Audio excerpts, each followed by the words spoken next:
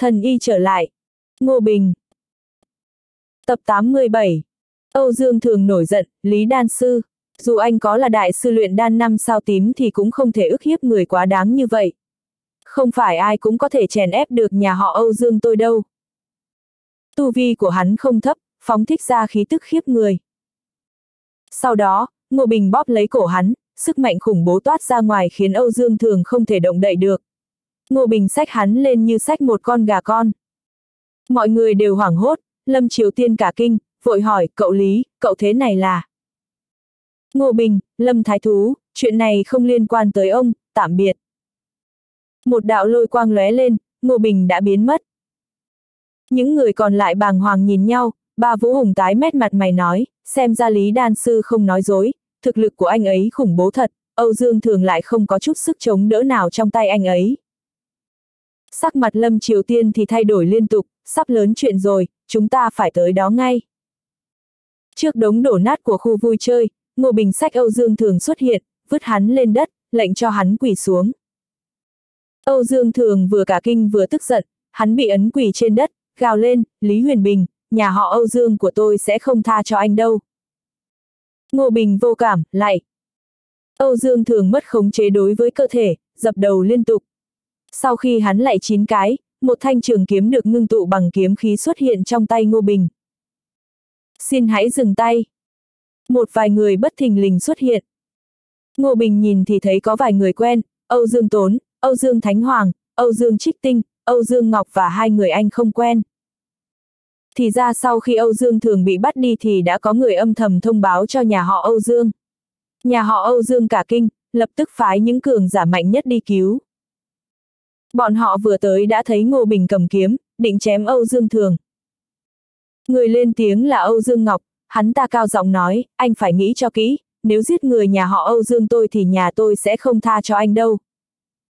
Ngô Bình đặt kiếm lên cổ Âu Dương Thường, lạnh nhạt nói, Âu Dương Thường giết 42 mạng người vô tội, tội đáng chém. Một kẻ hư lạnh, mày là cái thá gì mà dám định tội người nhà họ Âu Dương. Người này phất tay lên, bốn đạo bùa chú bay ra, chú lực xoắn nhau bay về phía Ngô Bình. Bốn đạo bùa chú này cực kỳ lợi hại, có thể vây giết được cả tu sĩ chân tiên. Ngô Bình không thèm nhìn, phất tay một cái, bốn đạo bùa chú đều nổ tung, hóa thành lửa rồi lụi tàn. Sau đó anh búng tay, một sợi sấm sét kinh người lóe lên, kẻ vừa dùng bùa chú kia lập tức hóa thành cho bụi, đến cọng lông cũng không còn. Cậu! Âu Dương Tốn vừa kinh ngạc vừa tức giận, người bị giết là một thiên tài của nhà họ Âu Dương Âu Dương Tuyệt, gã từng gia nhập thần chú môn, nhưng sau này thần chú môn bị diệt nên trở về nhà họ Âu Dương tu luyện. Quá ngông cuồng! Âu Dương Thánh Hoàng kia phất tay, không trung xuất hiện hàng nghìn cái đầu lâu, mỗi đầu lâu đều phát ra những tiếng niệm chú. Âu Dương Thánh Hoàng không chết ở quỷ môn quan, ngược lại tu vi còn tăng đáng kể, và học được một môn tà pháp. Tu vi của hắn cũng đã đạt tới cảnh giới hư tiên, thực lực hơn xa trước đây. Audio điện tử võ tấn bền. Thiên tà sát chú, chết cho tao, ánh mắt hắn dữ dằn, triển khai đòn giết người mạnh nhất của mình. Ngô Bình chỉ liếc hắn một cái, chết. Một đạo kiếm quang tỏa sáng như nhật nguyệt, chớp mắt đã chém nổ hết tất cả đầu lâu, cuối cùng giết luôn Âu Dương Thánh Hoàng. Bây giờ Âu Dương Ngọc đã nhìn rõ được tình thế, lập tức nói, xin anh dừng tay. Có gì từ từ nói. Ngô Bình nhìn Âu Dương Thường đang ngơ ngác vì khiếp sợ, hỏi anh còn gì muốn nói không? Âu Dương Thường gào lên, chẳng qua chỉ chết vài người thường thôi mà, trước mặt chúng tôi, bọn họ chỉ như con sâu cái kiến, sao anh lại ra mặt thay bọn họ? Ngô Bình thờ ơ nói, vì trong mắt tôi, anh chỉ là một tên cầm thú, còn bọn họ là những con người đang sống sờ sờ. Dứt lời, kiếm quang lóe lên, đầu Âu Dương Thường rơi xuống đất. Vị thiên tài của học phủ truyền kỳ này chết không nhắm mắt. Âu Dương Tốn vật vờ ngồi bệt xuống đất, khóc ròng. Nhà họ Âu Dương một mạch chết liền ba thiên tài, không còn cách nào trở mình được nữa. Đám người Lâm Triều Tiên cũng đã tới nơi, nhìn thấy cảnh này thì kinh ngạc không thôi. Bây giờ bọn họ mới hoàn toàn hiểu Lý Huyền Bình không hề bốc phét. Thực lực khủng khiếp cỡ này, e là Ngô Bình kia thật sự là tiểu đệ của anh. Ngô Bình nhìn Âu Dương Tốn, lạnh lùng nói, nhà họ Âu Dương các ông hại chết 42 mạng người, tôi vẫn phải tính món nợ này với nhà ông. Âu Dương Tốn nghe chuyện vẫn chưa xong thì mặt mày trắng bệch, run run hỏi cậu muốn thế nào. Ngô Bình vô tình nói, san bằng nhà họ Âu Dương.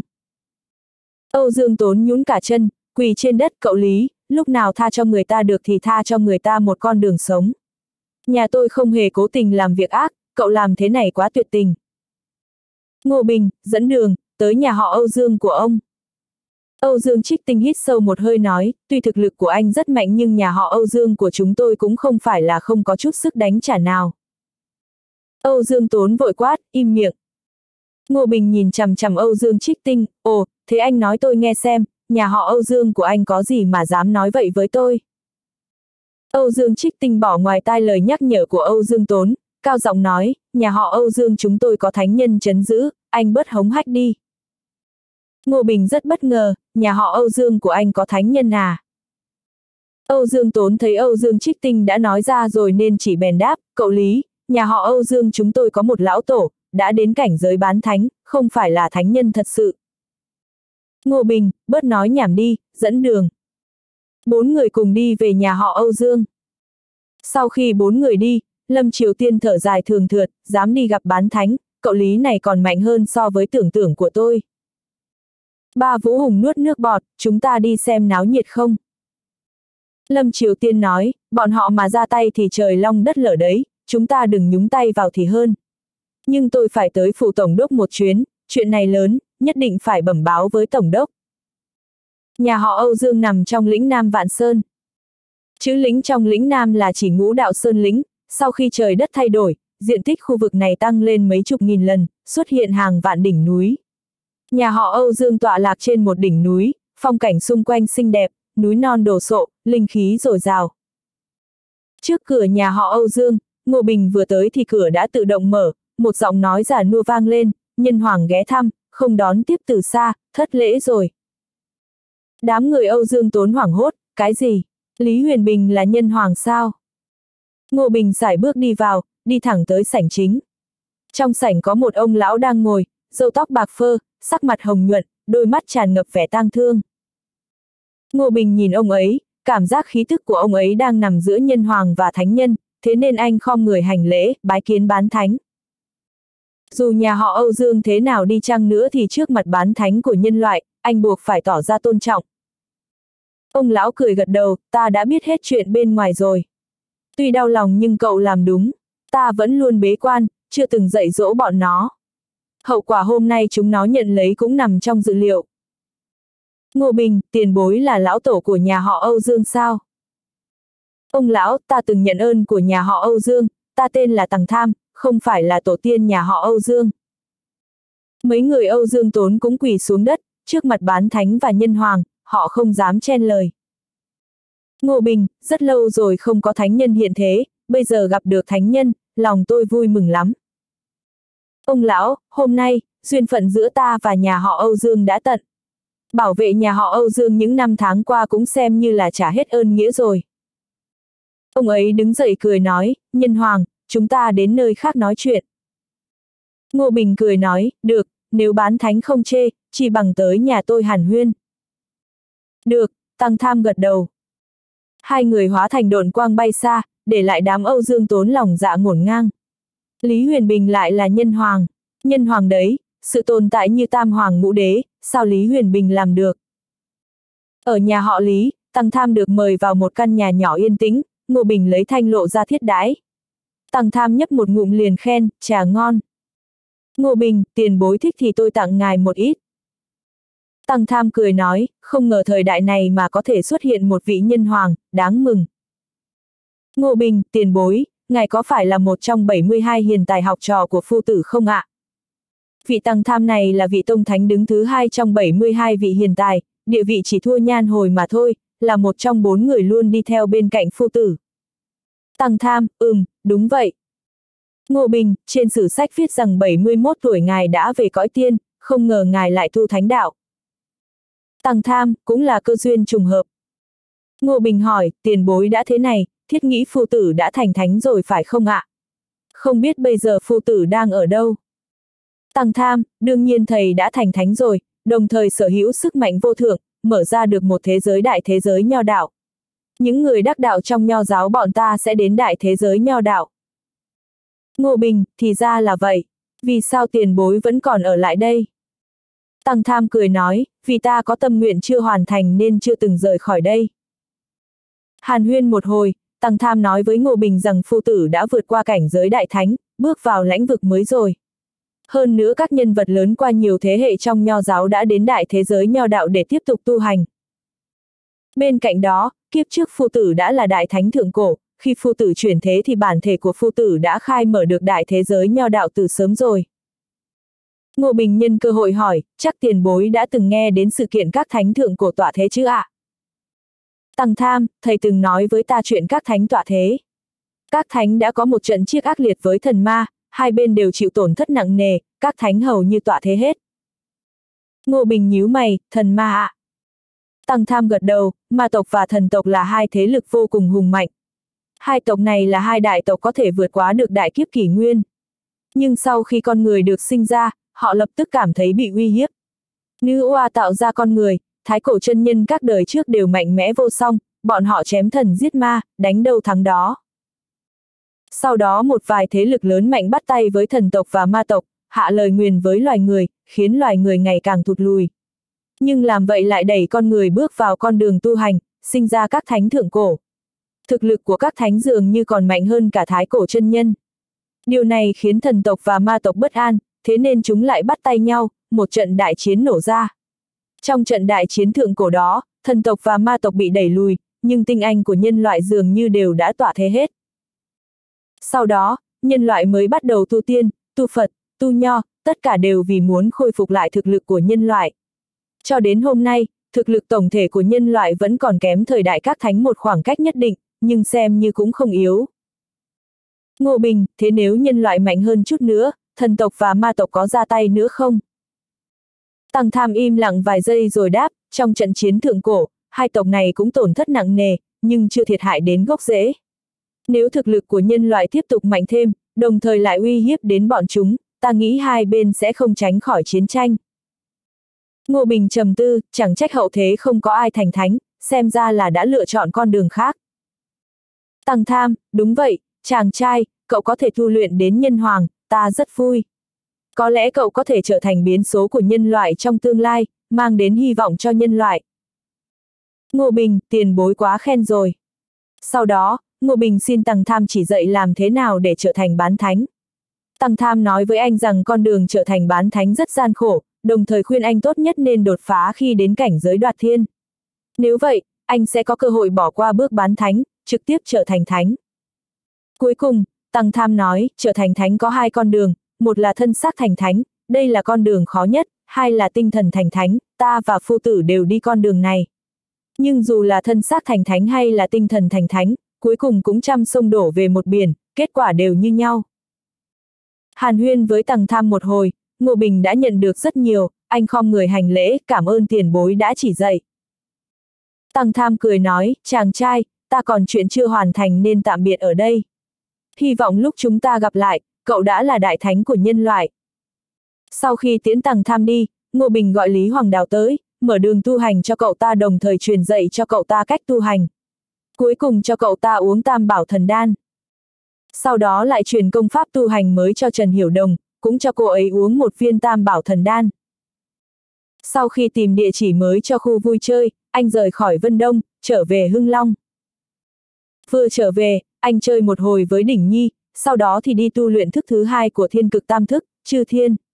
Trước đây tu luyện chư thiên anh gặp phải khúc mắc, thế nên luyện thần lực kinh đến tầng thứ năm.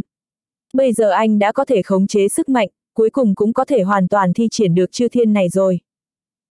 Một ngày sau, một đạo kiếm khí đáng sợ với khí thế ngút trời bay từ hưng long lên trời, một nhát kiếm xuất ra, trời đất thay màu. Đây chính là kiếm chiêu chí mạng mà anh lĩnh ngộ được trong chư thiên thức, thiên vẫn. Sau đó, anh lại luyện thức thứ ba của thiên cực tam thức. Thức đầu tiên là hoan không, thức thứ hai là chư thiên, thức thứ ba là kiếp diệt. Mất 7 ngày anh mới tu luyện được kiếp diệt, lại thêm 3 ngày để lĩnh ngộ ra kiếm chiêu chí mạng, tên là thiên kiếp. Đến hôm hoàn toàn luyện thành thiên cực tam thức, Ngô Bình mới được xem như là đã lĩnh ngộ thấu đáo thiên cực tam thức, thông qua nhiều lần diễn luyện, dần dần tạo ra một môn thần thông kiếm đạo, đặt tên là tài quyết. Luyện thành thần thông tài quyết, còn vài ngày nữa mới đến ngày đường tử di sinh, anh luôn túc trực bên cạnh cô ấy, dạy cho thai nhi tu hành. Thời gian thấm thoát thoi đưa, hôm nay, đường tử di đã thuận lợi sinh ra được một bé gái.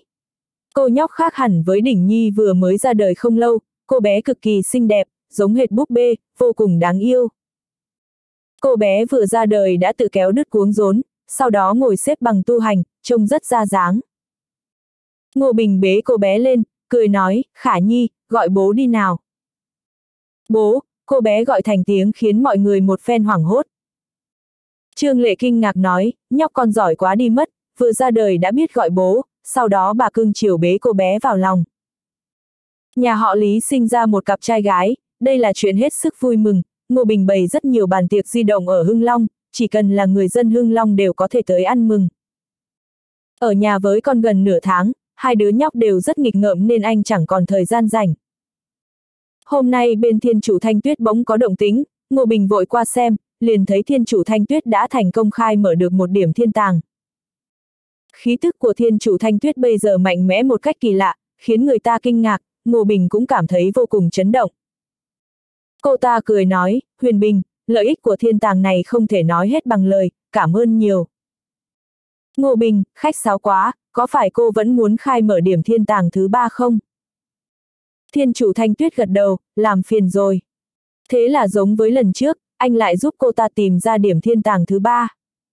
Đợi đến lúc thiên chủ thanh tuyết lại bế quan tu luyện, anh tới Long Kinh làm việc. Thân là tổng thủ lĩnh, cứ vắng mặt mãi cũng không được, cách vài hôm anh phải tới một lần. Ở trong kinh ba ngày, cũng xem như là anh đã làm tròn chức trách tổng thủ lĩnh. Sau ba ngày, anh chính thức tới đại thế giới huyền hoàng, anh phải vào huyền hoàng hải để lấy truyền thừa. Vào huyền hoàng hải, mục đích là tăng tu vi nhanh hết mức có thể để tới sơn doanh hỗn mang cứu lữ tổ và bố. Huyền hoàng môn, hoàng đình. Ngô Bình quay về, đến gặp thượng quan Linh Nhi và thượng quan tề sinh trước để bàn bạc việc vào huyền hoàng hải tu hành. Thượng quan tề sinh cười nói, không cần phải vội, bác chuẩn bị giúp cháu trước, mấy ngày nay cháu ở bên cạnh Linh Nhi thêm đi. Bây giờ hai người đã xác thực quan hệ vợ chồng, Ngô Bình cũng hiểu, bố vợ tương lai này muốn hai người có thêm thời gian ở bên nhau.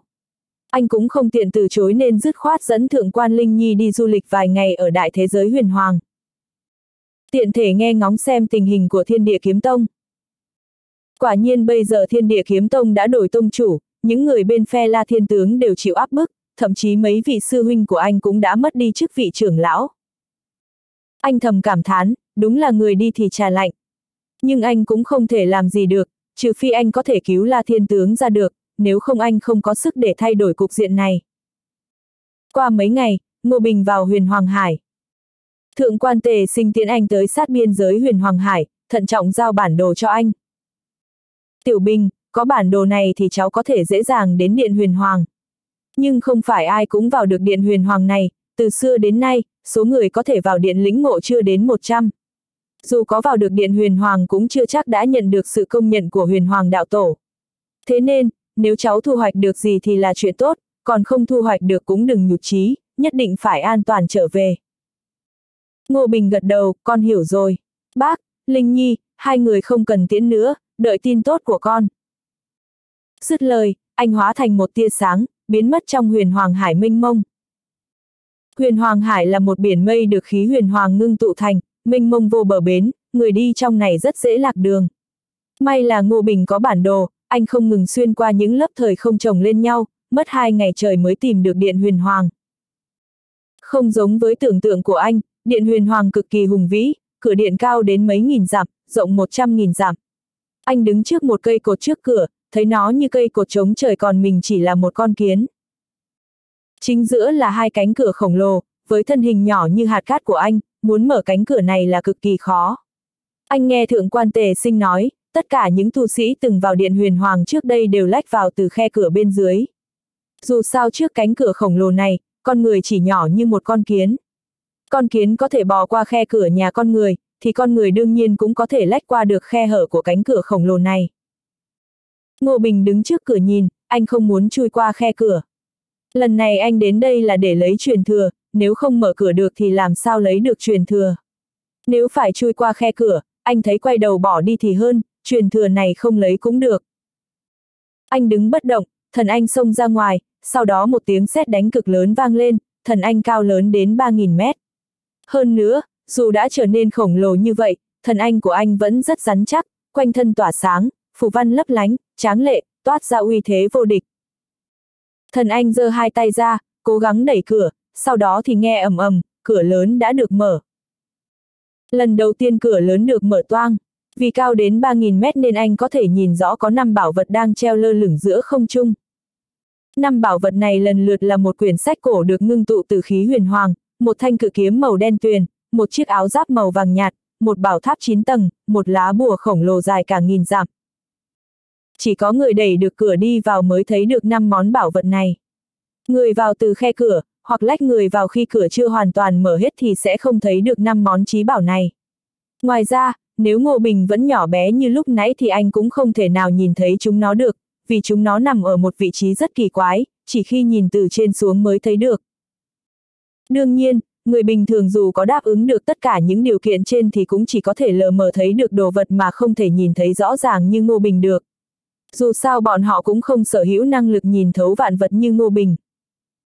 Lúc nhìn thấy quyển sách cổ, Ngô Bình bỗng thấy thân thuộc, có một nguồn năng lượng trong cơ thể anh dục dịch động đậy, chịu sự vẫy gọi của cuốn sách cổ. Tay anh vươn về phía sách cổ, phá vỡ hết tất cả ngăn cách để lấy quyển sách. Sách cổ hóa thành khí huyền hoàng, chui vào giữa chán anh. Chớp mắt, một thông tin vừa cổ xưa vừa quen thuộc xuất hiện trong đầu anh. Thiên địa huyền hoàng quyết. Nhận được thông tin trong sách, Ngô Bình vô cùng ngỡ ngàng. Thì ra truyền thừa anh lấy được trong ngọc bội khi xưa chính là bản rút gọn của thiên địa huyền hoàng quyết. Chúng ta có duyên thật đấy, anh khẽ cười, huyền hoàng công pháp anh tu luyện đầu tiên tự động vận chuyển trong cơ thể. Anh ngồi xếp bằng giữa hư không, vận chuyển lực huyền hoàng. Chỉ trong ba ngày ngắn ngủi, anh đã bổ sung đầy đủ thiên địa huyền hoàng quyết, từ đó tạo ra được lực huyền hoàng thâm hậu. Có được điều này là vì trước đây anh đã xây dựng nền tảng vững chắc, nếu không có sự dày công tu luyện trước đây, anh phải bỏ ra ít nhất nửa năm mới có được thành tựu như bây giờ. Luyện thành lực huyền hoàng, Ngô Bình cũng hiểu được nó là gì. Lực huyền hoàng giống với lực thiên nguyên, đều là một loại năng lượng mạnh mẽ mà sau khi đạo tổ khai mở đại đạo có được. Chỉ là, so với truyền thừa của thiên nguyên đạo tổ, truyền thừa của huyền hoàng đạo tổ được hệ thống hơn, thuộc về đạo thống hoàn chỉnh. Tạo ra được lực huyền hoàng, anh giơ tay ra đã nắm được thanh cự kiếm màu đen tuyền kia. Sức mạnh khủng khiếp trong cự kiếm chấn động, anh tài nào nắm vững. Mãi cho đến khi lực huyền hoàng truyền vào trong nó, thanh kiếm này mới chịu yên lặng, trong thanh kiếm có một tia ý chí đang giao tiếp với anh, đồng thời chẳng mấy chốc đã thuần phục trước anh. Nắm cự kiếm trong tay, Ngô Bình dung kiếm, lực huyền hoàng xung quanh cuồn cuộn kéo đến, bị cự kiếm hút sạch. Thanh kiếm này tên là huyền thiên, là thanh kiếm thần hồn.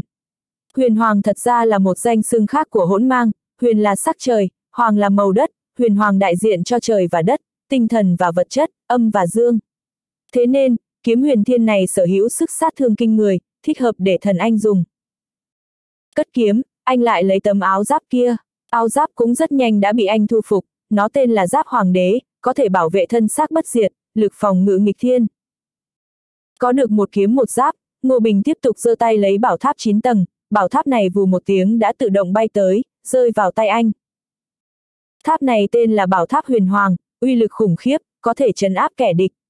Thi triển tháp này sẽ hút kẻ địch vào trong thế giới huyền hoàng bên trong tháp, đồng thời bày bố sát trận, có thể chém giết hoặc chấn áp, cực kỳ hữu ích. Cuối cùng là lá bùa khổng lồ kia. Lá bùa này không phải là vũ khí mà là truyền thừa của huyền hoàng đạo tổ để lại. Lúc anh cầm được lá bùa, lá bùa bỗng bốc cháy, đồng thời trong thức hải của anh cũng xuất hiện một người đàn ông trung niên mặc cổ bào có hai màu vàng và đen. Người đàn ông trung niên khẽ mỉm cười, giảng huyền hoàng đại đạo cho anh nghe, ngôn từ tinh tế ý nghĩa sâu xa, từng chữ đều kinh động đất trời, hướng về đại đạo. Bấy giờ Ngô Bình mới hiểu rõ truyền thừa của huyền môn chẳng qua chỉ là thứ người đời sau lĩnh ngộ ra từ vài đoạn kinh văn trong này, còn chưa bằng hạt cát trong sa mạc nữa. Y thuật của Hoàng Đình cũng vậy, nó chỉ là thứ được sinh ra từ một đoạn nội dung trong này, hệt như ếch ngồi đáy giếng, vô cùng tầm thường. Khả năng lĩnh ngộ của Ngô Bình vô cùng siêu việt, nhưng nhất thời cũng không thể hoàn toàn thấu hiểu. Dù vậy, anh cũng thu hoạch được cực kỳ nhiều. Anh ngồi xếp bằng trong điện huyền hoàng, vận chuyển thiên địa huyền hoàng quyết, khí huyền hoàng xung quanh ảo ạt tập trung lại sau đó được anh hấp thu hết. Không biết qua bao lâu, cuối cùng thần anh của anh đã hấp thu no nê, khí huyền hoàng dung nhập vào thần anh. Khí huyền hoàng này rất nặng, một sợi khí huyền hoàng đã nặng nghìn cân. Thần anh của anh đã hấp thu một lượng lớn khí huyền hoàng khiến trọng lượng của thần anh nặng hơn cả một tinh cầu lớn. Cơ thể anh cũng hấp thu khí huyền hoàng, biển khí ở đan điền tràn ngập khí huyền hoàng, hóa thành biển huyền hoàng. Vốn dĩ đan điền của anh có lực thiên nguyên mạnh mẽ, lực thiên nguyên từng tái tạo đạo cơ lại cho anh. Nhưng lúc này, nguồn sức mạnh của hai vị đạo tổ gặp nhau, lại không phục nhau, lập tức bắt đầu tranh đấu. Nhưng lực huyền hoàng dồi dào không hết, lại cộng thêm huyền hoàng có tính dung nhập, cuối cùng thiên nguyên cũng chịu thua, đạo cơ thay đổi lấy lực huyền hoàng làm chủ. Hấp thu khí huyền hoàng, thân thể Ngô Bình cũng trở nên rất nặng, toàn thân dồi dào sức mạnh khủng bố. Nhất cử nhất động dường như đều có thể hủy thiên diệt địa. Lực huyền hoàng này quá khủng bố, chớp mắt đã tháo bỏ rất nhiều xiềng xích của cơ thể và tinh thần, thiên phú của Ngô Bình không ngừng được phóng thích ra ngoài, càng lúc càng mạnh mẽ. Lúc xiềng xích được phá bỏ đến một số lượng nhất định, anh cảm thấy cơ thể mình có sự thay đổi cực lớn, anh lờ mờ thấy như mình sắp đột phá. Có thể đột phá lên tổ huyết của thiên huyết kinh rồi, nghĩ vậy, anh lập tức ngồi xếp bằng, bắt đầu tu luyện. Thiên huyết kinh lần lượt từ nguyên huyết, linh huyết, chân huyết, vương huyết, hoàng huyết, thánh huyết, tổ huyết, thiên huyết, 8 cấp độ. Bây giờ nhờ sự trợ giúp của lực huyền hoàng, thánh huyết mà anh ngưng tụ được trước đây sắp đột phá thành tổ huyết rồi. Tổ huyết, nói trắng ra chính là máu của thủy tổ nhân loại, có được tổ huyết có nghĩa là thể chất của anh đã một phần nào đó đạt cấp độ thái cổ chân nhân rồi.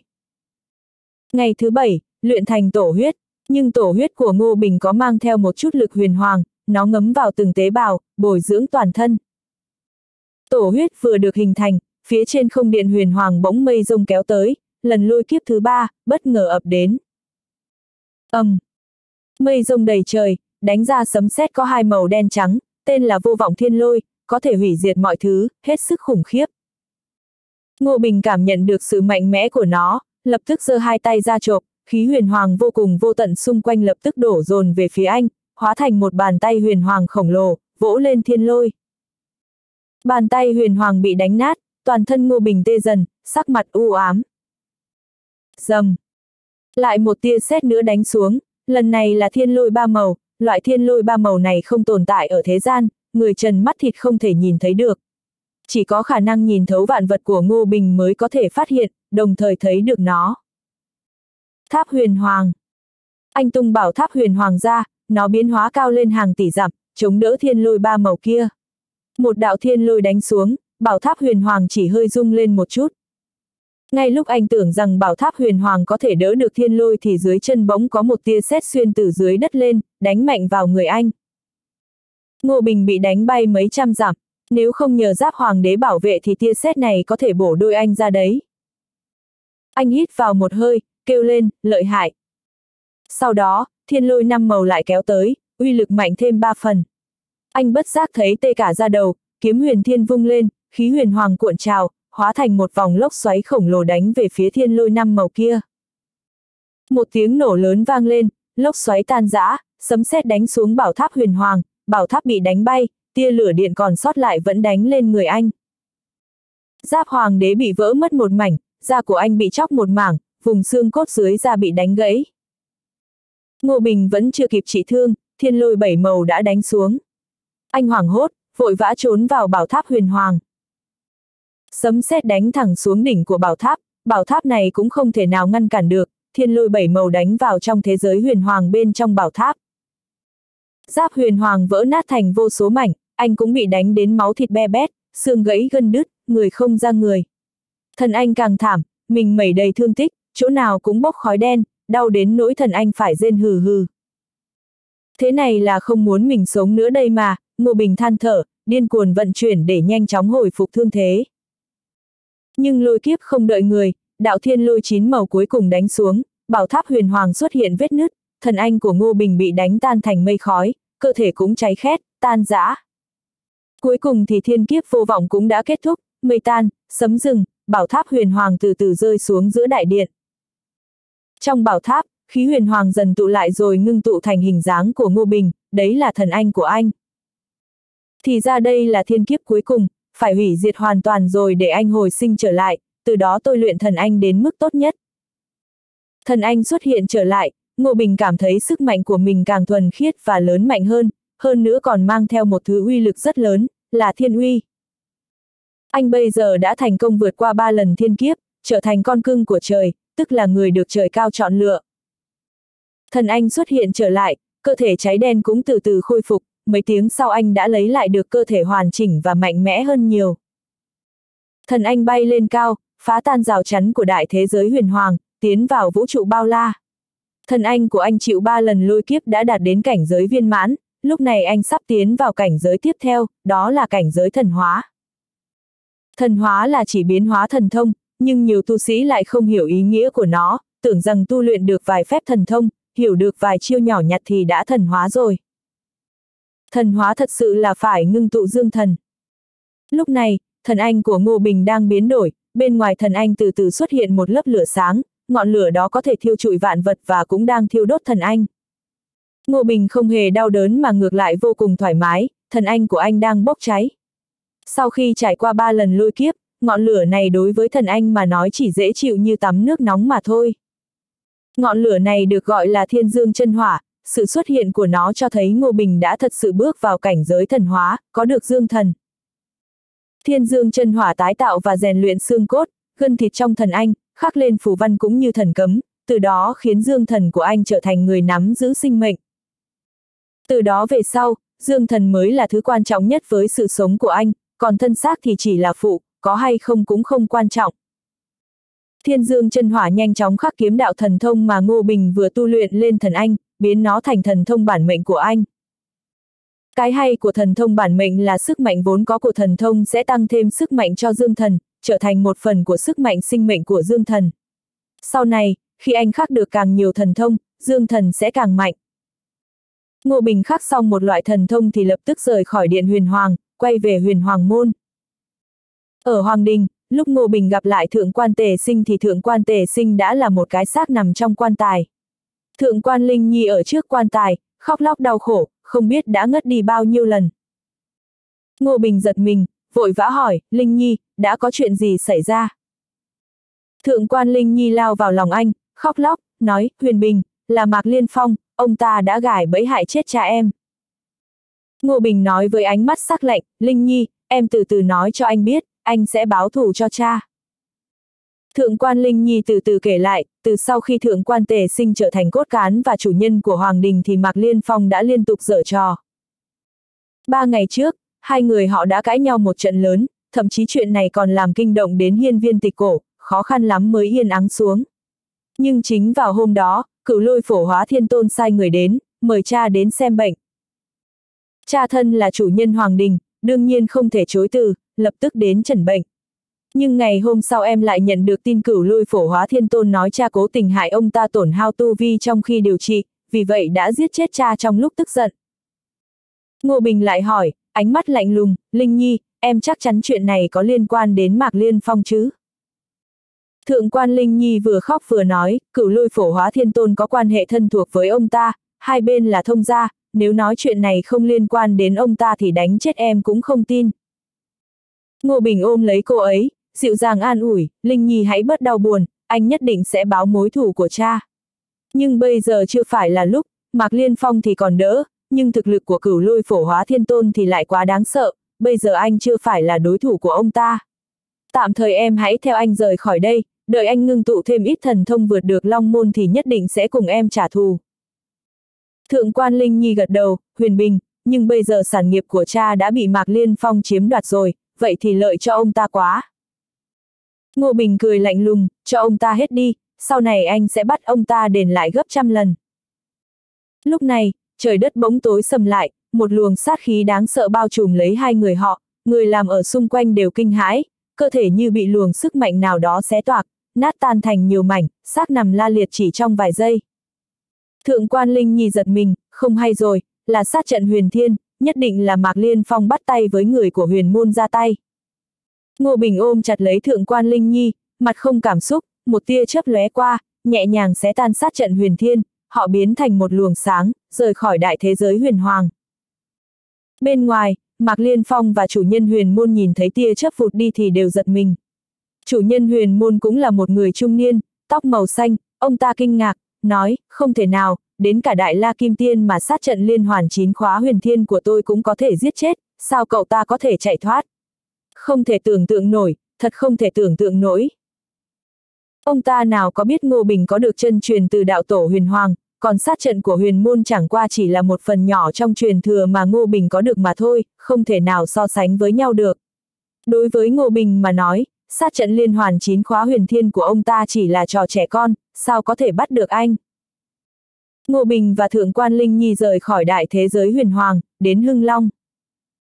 Trương Lệ thấy có người mới đến nhà thì vội hỏi gốc gác, Ngô Bình kể hết sự thật cho bà ấy nghe, Trương Lệ thương xót cho cô ấy, không ngừng an ủi. Sau khi sắp xếp cho Thượng quan Linh Nhi xong, Ngô Bình không nguôi được cơn giận nên tiếp tục khắc thần thông. Lần này anh khắc thần thông đại vận mệnh thuật. Lúc khắc thần thông này cần tiêu tốn rất nhiều khí vận, may mà anh có thiên vận châu, có thể không ngừng lấy khí vận thiên địa bên trong, dùng nó để khắc đại vận mệnh thuật. Anh mất nửa tháng mới khắc ra được cấm chế của đại vận mệnh thuật, khắc sâu trong dương thần. Sau khi đại vận mệnh thuật trở thành thần thông bản mệnh thì Ngô Bình phát hiện khí vận của mình mạnh hơn cả trăm lần, đến cả uy lực của đại vận mệnh thuật của mạnh hơn rất nhiều.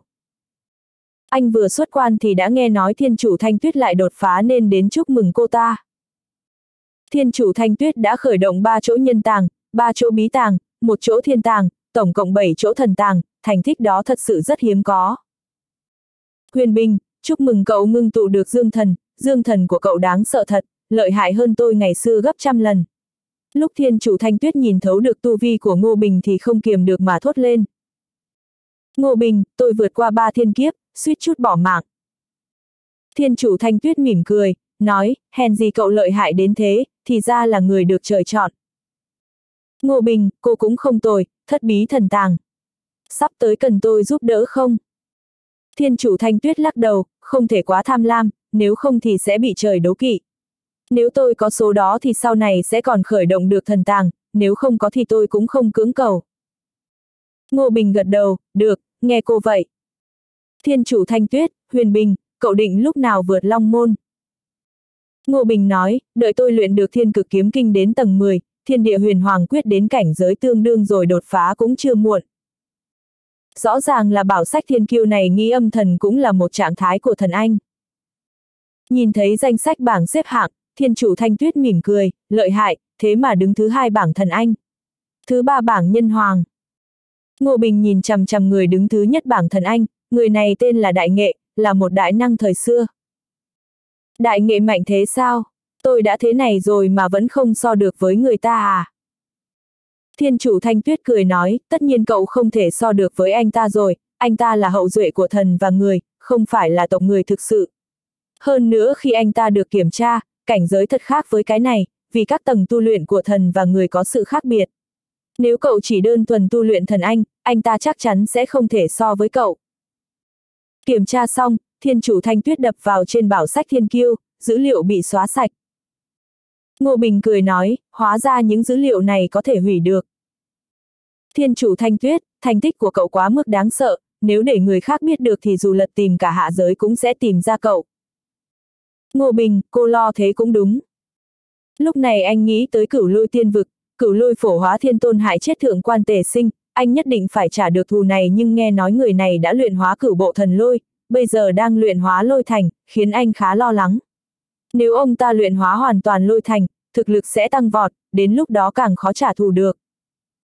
Thanh Tuyết, cô biết gì về cửu lôi phổ hóa thiên tôn? Thanh Tuyết suy nghĩ một lúc rồi nói, người này có tư chất bình thường, nhưng vận may của ông ta rất tốt. Những năm đầu ông ta chỉ là một nhân vật nhỏ nhưng ông ta vô tình nhận được một pháp chỉ của chủ nhân sấm sét, dựa vào pháp chỉ kia ông ta liên tục luyện hóa mấy lôi thần, có sức mạnh của lôi thần dĩ nhiên tu vi của ông ta sẽ không yếu, dần dần đạt đến bán bộ đại la. Hiện giờ ông ta đã nắm chắc được cửu lôi tiên vực, ngay cả đại thiên tôn cũng phải nhìn ông ta bằng ánh mắt khác. Hiện giờ ông ta đang chế tạo đại trận tuyệt thế, chuẩn bị cho việc luyện hóa lôi thành. Trong lôi thành, có ý chí của chủ nhân sấm xét, một khi luyện hóa nó, ông ta có thể khống chế hoàn toàn cửu lôi tiên vực. Chủ nhân của sấm xét là sự tồn tại thế nào? Thanh tuyết, vào thời cổ đại, có một vị tu sĩ đặc biệt vừa sinh ra đã có thể điều khiển sấm sét, sau đó trở thành sự tồn tại cấp đạo tổ, chấn giữ cửu lôi tiên vực. Người này mạnh đến mức thậm chí còn có thể triệu tập cửu bộ thần lôi, trở thành nô lệ của ông ta, sau đó ông ta thậm chí còn đánh ra lôi thành. Rốt cuộc lôi thành là gì? Có phải chỉ đơn thuần là một thành phố không? Thanh tuyết, lôi thành là một pháp khí, ban đầu chủ nhân của sấm xét sử dụng nó để giết một đạo tổ. Tuy nhiên, nghe nói lôi thành chỉ là trạng thái sơ cấp của pháp khí này, nó còn có một trạng thái cao cấp, chỉ có chủ nhân của sấm xét mới có thể thi triển nó. Ngô Bình suy ngẫm một lúc rồi nói, tôi định đến cửu lôi tiên vực một chuyến để dò thám tình hình. Thiên chủ thanh tuyết, cậu cứ vậy mà đi rất dễ bị lộ. Dù sao thiên tài như cậu có hào quang quá trói, đến đâu cũng không thể giấu được. Nói rồi, cô ta lấy một da mặt ra, bề ngoài da mặt dày đặc phù văn. Ngô Bình cười hỏi, đây là gì? Thanh tuyết, ra người thiên hoan, là bảo vật của thiên hoan đạo quân, sử dụng nó thì dù là đạo quân cũng không nhìn ra được. Ngô Bình hỏi cách sử dụng, anh vừa thúc giục, da người đã bị luyện hóa. Ngay sau đó da người dính chặt vào bề ngoài cơ thể anh, vẻ ngoài của anh lập tức thay đổi. Không chỉ là vẻ ngoài, trạng thái mạng sống, số mệnh, khí chật V, V mà da người này thể hiện ra ngoài đều là một trạng thái khác. Ngô Bình vui mừng, bảo vật hay đấy, cảm ơn nhé. Thanh Tuyết, tôi khuyên cậu, sau cảnh giới Long Môn thì đừng chậm trễ nữa, với tu vi hiện tại của cậu, trở thành Long Môn không hề khó. Ngô Bình, ừ, sau Long Môn, tôi phải đến núi hỗn độn cứu bố trước. Nói chuyện với Thanh Tuyết một lúc, Ngô Bình bèn mở động thiên của Vu đạo ra. Dược tổ, huyết tổ, phù tổ, động thiên của ba cái này cùng tồn tại, vì chỉ họ phát hiện ba thứ này kết hợp có thể trở thành thái cổ chân nhân thật sự. Trên thực tế, hiện giờ Ngô Bình đã vô cùng gần với mức thái cổ chân nhân năm thế hệ. Bây giờ anh quyết định mở động thiên của Vu đạo. Sau khi động thiên được mở ra, anh gọi Lý Nguyên Tượng từ điện đường cực võ ra nói, hỉ bảo, theo bố đến một nơi, nơi đó mới hợp với con. Anh không nói nhiều, kéo Lý Nguyên Tượng đi vào vu tổ động thiên. Trong vu tổ động thiên, bầu trời toàn là màu xanh đen, tia sáng u ám. Anh vừa xuất hiện, một hư ảnh cực lớn xuất hiện giữa không trung. Đây là một ông lão đồ đen, gương mặt đen kịt, nhìn không rõ, chỉ có đôi con ngươi màu đỏ tím nhìn chằm chằm hai người. Đồ đệ, cuối cùng con cũng đến rồi. Thiên huyết kinh của con đã đạt đến cảnh giới tổ huyết chưa? Xem ra ta đã vượt qua lão già thiên huyết rồi. Ngô Bình, tiền bối là vô tổ sao? Ông lão, ta là vô tổ, con nên gọi ta là sư tôn mới đúng. Ba chúng ta trao đổi tin tức, ta đã mong mỏi con đến từ lâu rồi. Ngô Bình, Lý Huyền Bình chào sư tôn. phù tổ, tốt lắm, phù đạo chúng ta vẫn luôn bị một tu sĩ tiên đạo đuổi giết, kế tiếp không có người, sự xuất hiện con cho ta nhìn thấy hy vọng. Đứa nhỏ bên cạnh con này có lai lịch gì? Ta cảm nhận được khí tức nó rất thân thiết. Ngô Bình không giấu giếm nói lai lịch của hỉ bảo. Vu tổ thở dài, xem ra nó là vu tử rồi. Ngô Bình, vu tử. Vu tổ, năm đó 12 vu tổ, 800 vu thánh thi triển trận pháp vô song nuôi dưỡng một thai nhi, nó tiếp nhận lời chúc phúc trí tôn của vu đạo. Ta cứ rằng vu tử đã mất tích rồi, không ngờ được con tìm được, xem ra mọi thứ đều là ý trời. Ngô Bình, hỉ bảo là vu thể trí tôn nên con dẫn nó vào để tiếp nhận truyền thừa vu đạo. Vu tổ cũng tốt, con là đệ tử của ta nên nó xem như là cháu ta. Ha ha, mua một tặng một, ta xem kiếm được hời rồi. Nhưng nó khác con, ta muốn để nó đến chỗ ta tu luyện, con đồng ý chứ? Ngô Bình hỏi Lý Nguyên Tượng, hỉ bảo, con đi theo sư tổ tu luyện trở nên mạnh hơn, thế nào? Thật ra Lý Nguyên Tượng không muốn rời xa Ngô Bình, nhưng bây giờ cậu bé dần lớn lên, đã hiểu được sự quan trọng của thực lực. Cậu bé muốn sau này có thể bảo vệ người nhà, vậy thì phải có thực lực mạnh. Nghĩ thông suốt điều này, cậu bé gật đầu, bố, con muốn đi. Ngô Bình vỗ vai cậu bé, mong con mau chóng vượt qua bố. Một tia sáng màu đen rơi xuống, Lý Nguyên Tượng bay lên cao, sau đó biến mất. Phu tổ, Huyền Bình, con có biết sự khác biệt giữa vu và tiên là ở đâu không? Ngô Bình, xin sư tôn chỉ dạy. Phu tổ, tiên sẽ chú trọng đến việc tu luyện của bản thân nhiều hơn, hơn nữa họ nghiêng về cấp độ tâm linh hơn. Chẳng hạn như bây giờ con đã tu luyện dương thần, thì dương thần là phương thức vận chuyển chính cho mạng sống của con, cơ thể sẽ trở nên ít quan trọng hơn. Ngô Bình, đúng thế sư tôn, bây giờ con cơ bản có thể lược bỏ cơ thể, chủ yếu tu luyện dương thần. Phu tổ, Phật đạo càng quá hơn, hoàn toàn chỉ tu luyện về tinh thần. Nhưng vu đạo thì khác, vu đạo chủ yếu dùng ngoại lực để cường hóa tinh thần và thể xác của mình. Vu đạo có thể được thánh hóa về thể xác, cũng có thể được thánh hóa về tinh thần, cả hai thứ đều rất mạnh. Hơn nữa, vu giỏi về việc nương vào các loại năng lượng, thích sử dụng những thứ có sẵn của người khác để biến thành đồ sử dụng cho mình. Điều này dẫn đến việc vu có đủ tài nguyên để tu luyện nên tốc độ tu luyện sẽ nhanh hơn nhiều. Năm đó nếu không phải do các thế lực lớn cùng nhau chèn ép vu đạo thì bây giờ chắc chắn đã là con đường tu hành chủ đạo. Ngô Bình, Sư Tôn, nếu vu đạo đã mạnh như thế, tại sao lại bị chèn ép đến mức gần như biến mất?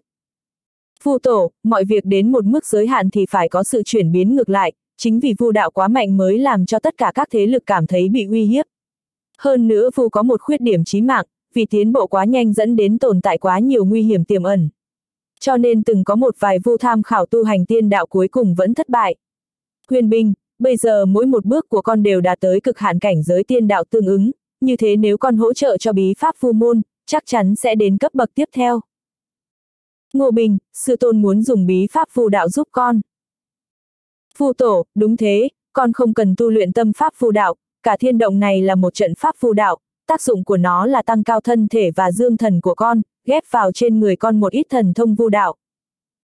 Ngô Bình đã hiểu ý của vu tổ, sư tôn, ý sư tôn là con vẫn là nền tảng tiên đạo nhưng ngoài ra vẫn có thêm một vài bản lĩnh của vu đạo. Phu tổ, đúng thế, cứ như vậy dù ta có tăng thêm bao nhiêu bản lĩnh vu đạo cho con cũng sẽ không xuất hiện vấn đề nền tảng không vững, vì vu đạo chỉ là công cụ hỗ trợ cho con tu hành thôi. Ngô Bình hơi ngạc nhiên, sư tôn, tại sao ngài lại giúp con, dù sao con cũng không được xem là tu sĩ vu đạo. Phu tổ, thật ra tuổi thọ sư tôn không còn nhiều nữa, ta đã bị truy đuổi nhiều năm, sức sống của ta sắp cạn kiệt. Trước khi ta chết, ta có thể nhận một đệ tử như con, cũng xem như là đời này của ta không vô ích. Chỉ là ta không ngờ còn có thu hoạch ngoài ý muốn, tư chất của Lý Nguyên Tượng rất tốt, ta sẽ cố gắng bồi dưỡng nó. Nhưng vu đạo có chỗ thiếu sót, sau này chắc chắn nó sẽ gặp không ít tai họa, vẫn phải nhờ con bảo vệ nó để nó có thể tiến xa hơn. Ngô Bình, đây là điều đương nhiên, hỉ bảo là con trai của con. Phu tổ, không nói mấy lời ngoài lề nữa, động thiên này là do các đại tài vu đạo của các thế hệ trước cùng nhau tạo ra, lưu truyền đến tay ta, không biết đã trải qua bao năm rồi. Lý Huyền Bình, con đã sẵn sàng chưa? Ngô Bình, đệ tử đã sẵn sàng. Đại trận vu đạo, mở. ầm ầm dầm. Trời đất rung chuyển, đại trận đáng sợ được kích hoạt, một số phù văn thần bí, câu thần chú kỳ lạ, phước lành tối cao và thần thông cực mạnh liên tục được khắc vào trong dương thần, trên cơ thể Ngô Bình qua trận pháp vu đạo. Những thứ này từng thuộc về những tu sĩ vu đạo vô cùng mạnh từ xưa đến nay, nhưng bây giờ chúng đều được Ngô Bình hấp thụ hết thảy và trở thành một phần sức mạnh của anh.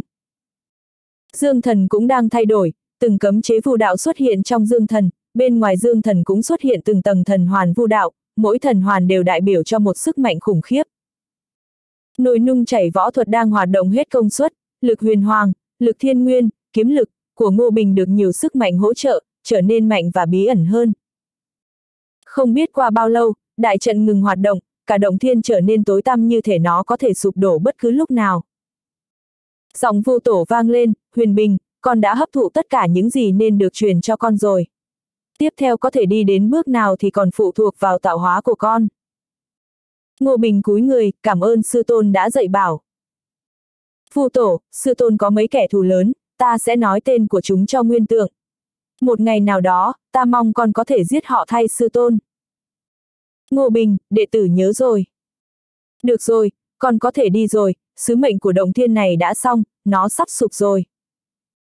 Ngô Bình bèn ra khỏi vu đạo động thiên, ngay khi anh ra ngoài, thiên động thu nhỏ lại rồi cuối cùng biến mất trong thời không. Ra đến bên ngoài, anh mới biết mình đã ở vu đạo động thiên 9 ngày. Trong 9 ngày này, cơ thể anh đã thay xương đổi thịt. Ngay khi ra ngoài, anh đến ở bên cạnh vợ và con của mình, đường tử di và nhậm san san mỗi người bế một đứa trẻ, chơi đùa khắp nơi, anh đã vắng nhà 9 ngày, cũng rất nhớ hai đứa nhỏ. Ở nhà hai ngày, đường tử di định đến ở với bố mẹ vài ngày, dù sao ông bà ngoại cũng rất nhớ đứa cháu gái này, thế là Ngô Bình tự mình đưa hai mẹ con đến biệt thự Vân Đỉnh. Đường Tử Yên cũng ở trong nhà, cô bé rất yêu mến đứa cháu gái này, hầu hết thời gian đứa trẻ đều do cô bé bế. Người nhà họ đường nhờ có đan dược của Ngô Bình mà giờ trông còn rất trẻ, hiện giờ vợ chồng đường Minh Huy trông có vẻ mới ngoài 30. Ông cụ nhà họ đường vốn dĩ đã 8-90 tuổi nhưng giờ nhìn hệt như mới chỉ khoảng 50. Khiến Ngô Bình ngạc nhiên là mẹ vợ thế mà đã có thai được 5 tháng, không lâu sau anh sẽ có thêm một cậu em vợ. Điều này cũng không có gì kỳ lạ, thể chất của đường Minh Huy và vợ đã được cải thiện, muốn sinh thêm cũng có thể. Bây giờ đã có con rể tốt như Ngô Bình, gia tộc hưng vượng phát đạt, mục tiêu bây giờ của họ là muốn có nhiều con nhiều cháu. Ngô Bình hỏi một chút, miêu dục thái thú thường đến thăm, điều này không chỉ vì Ngô Bình địa vị tổng đốc, mà còn vì anh đã chữa lành những vết thương tiềm ẩn do tu hành để lại của đối phương. Ngoài ra, đảo Kim Long ở Vân Trạch cứ cách năm ba ngày lại gửi quà vật quá giá về, rõ ràng là muốn lấy lòng nhà họ đường. Có thể nói nhà họ đường là gia tộc có địa vị nhất ở khu vực này, không ai dám để chọc vào, thậm chí tổng đốc nơi này còn bảo người gửi thư bày tỏ ý định kết bạn với đường Minh Huy. Nhưng dù thế Ngô Bình vẫn khá lo lắng nên đã nhờ cùng kỳ đi theo bảo vệ mẹ con đường Tử Di.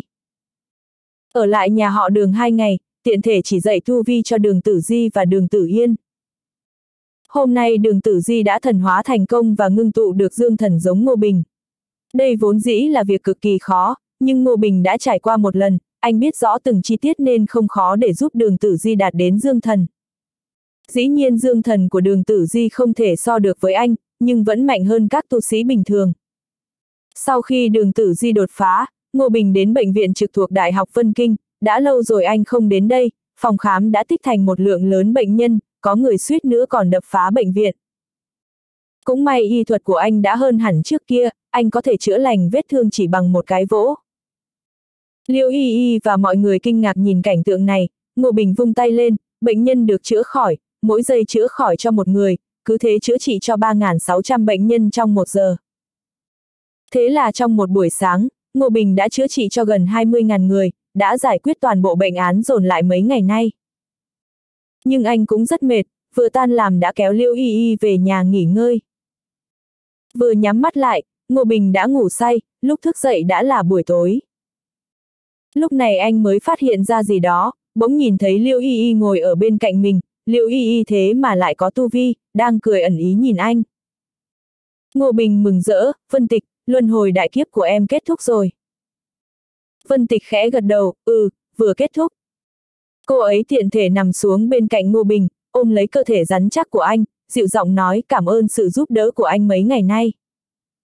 Luân hồi đại kiếp cực kỳ nguy hiểm, nếu không ngờ Ngô Bình lúc nào cũng bảo vệ, âm thầm chăm sóc cô ấy thì chưa chắc cô ấy có thể bình an vượt qua. Ngô Bình, giúp em là điều đương nhiên mà, tiếp theo em có dự định gì? Vân Tịch, em phải về nhà một chuyến. Lúc anh nghỉ ngơi, em đã liên lạc với người nhà, giờ Vân Thị đang gặp phải rắc rối. Ngô Bình, ý em là Vân Thị nào? Vân Tịch, là Vân Thị nhánh bên em. Một thành viên trong tộc đã gây rối, làm bị thương con trai một tông lão trong tộc tại cuộc họp thị tộc. Tông lão đó quyết không tha, muốn giết các thành viên trong nhánh bên em. Ngô Bình nhíu mày, nhánh bên em tuy rằng sáp nhập vào sau, nhưng vẫn là cùng một tộc, tại sao lại làm như vậy? Phân tịch, trong cùng một tộc cũng có sự phân biệt trên dưới. Bên em là nhánh phụ, cấp bậc trên dưới không quan trọng.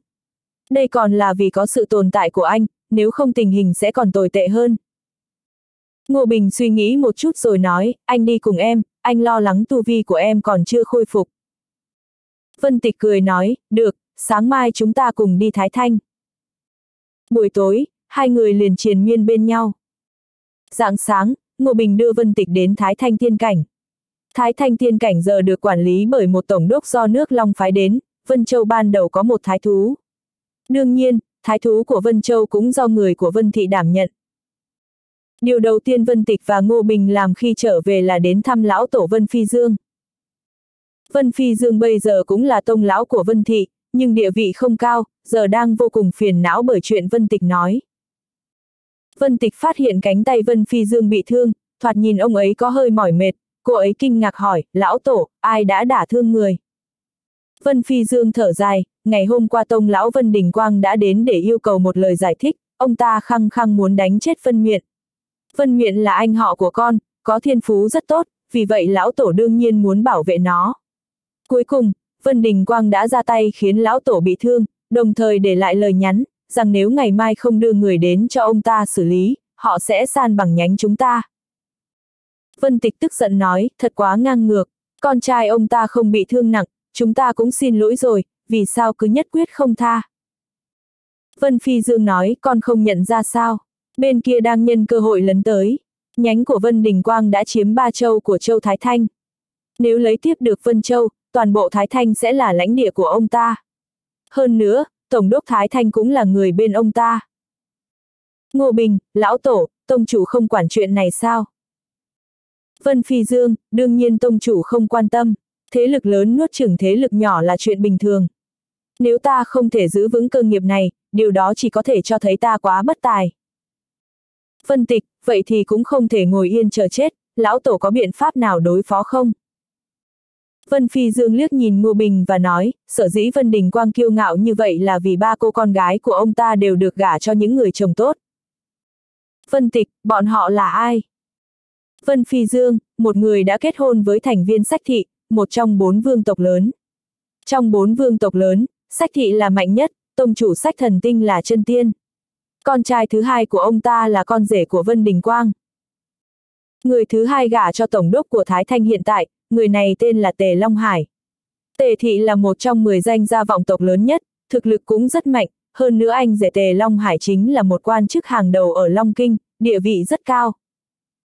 Con gái thứ ba của Vân Đình Quang đã kết hôn với một đệ tử chân truyền của Thiên Đạo Môn.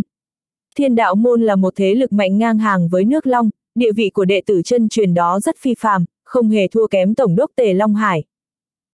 Sau khi nghe lão tổ nói, Ngô Bình nói, chỉ vậy thôi sao? Vậy đừng lo lắng về chuyện này nữa, tôi sẽ lo việc này. Vân Phi Dương sáng mắt lên, ông ấy đang chờ đợi câu nói này, liền cười nói, đúng vậy, cậu là chồng Vân Tịch, tuy rằng ba người bọn họ rất mạnh, nhưng so với cậu cũng không là gì. Hôm nay, ba con rể của Vân Đình Quang đều đã tới, hẳn là đang thương lượng xem sẽ san bằng chúng ta như thế nào, nếu không có gì ngoài ý muốn, ngày mai họ sẽ ra tay. Ngô Bình, chỉ sợ bọn họ không tới thôi, lão tổ, để tôi trị liệu vết thương của người đã. Sau khi chữa khỏi cho Vân Phi Dương, Ngô Bình thấy ông ấy chỉ cách thiên tiên một chút xíu nữa thôi, liền hỏi, lão tổ, nếu như người có phi thăng đan thì hẳn là có thể đột phá. Vân Phi Dương cười khổ, nói, phi thăng đan là đan dược mà tất cả môn phái khát khao, nếu không phải người của thế lực lớn, ai có thể có được chứ? Quả thực, bởi vì tác dụng đặc biệt của mình, phi thăng đan có thể khiến cho địa tiên thăng cấp thành thiên tiên, tiến vào một trạng thái khác của sinh mệnh, cho nên cực kỳ khó luyện chế, rất ít lưu truyền. Nếu một đan sư nào đó có thể luyện chế phi thăng đan thì nhất định sẽ bị một thế lực lớn khống chế, đan dược luyện ra không thể nào lưu truyền ra bên ngoài. Phi thăng đan quá quý giá, bọn họ chỉ giữ để tự dùng. Dù không dùng được thì cũng phải cất giữ, để lại cho đời sau.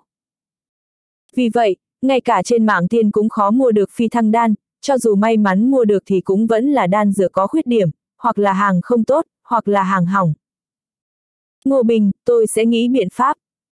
Sau khi từ biệt Vân Phi Dương, Ngô Bình đến nơi ở của Vân Tịch. Vân Tịch biết đan đạo của anh, hỏi, Huyền Bình, anh muốn luyện chế phi thăng đan sao? Ngô Bình gật đầu, anh muốn thử. Lúc đầu Trương Thiên Hoành muốn nhờ anh luyện nó, nhưng khi đó anh vẫn còn là nhân tiên, tu vi cực thấp, trình độ luyện đan của anh lúc đó thấp hơn nhiều so với bây giờ, vì vậy tất nhiên anh không thể làm điều đó. Bây giờ thì anh cũng đã nắm chắc vài phần. Vân Tịch vui mừng khôn xiết, thật tuyệt. Huyền Bình, anh thật lợi hại, còn có thể luyện chế được phi thăng đan.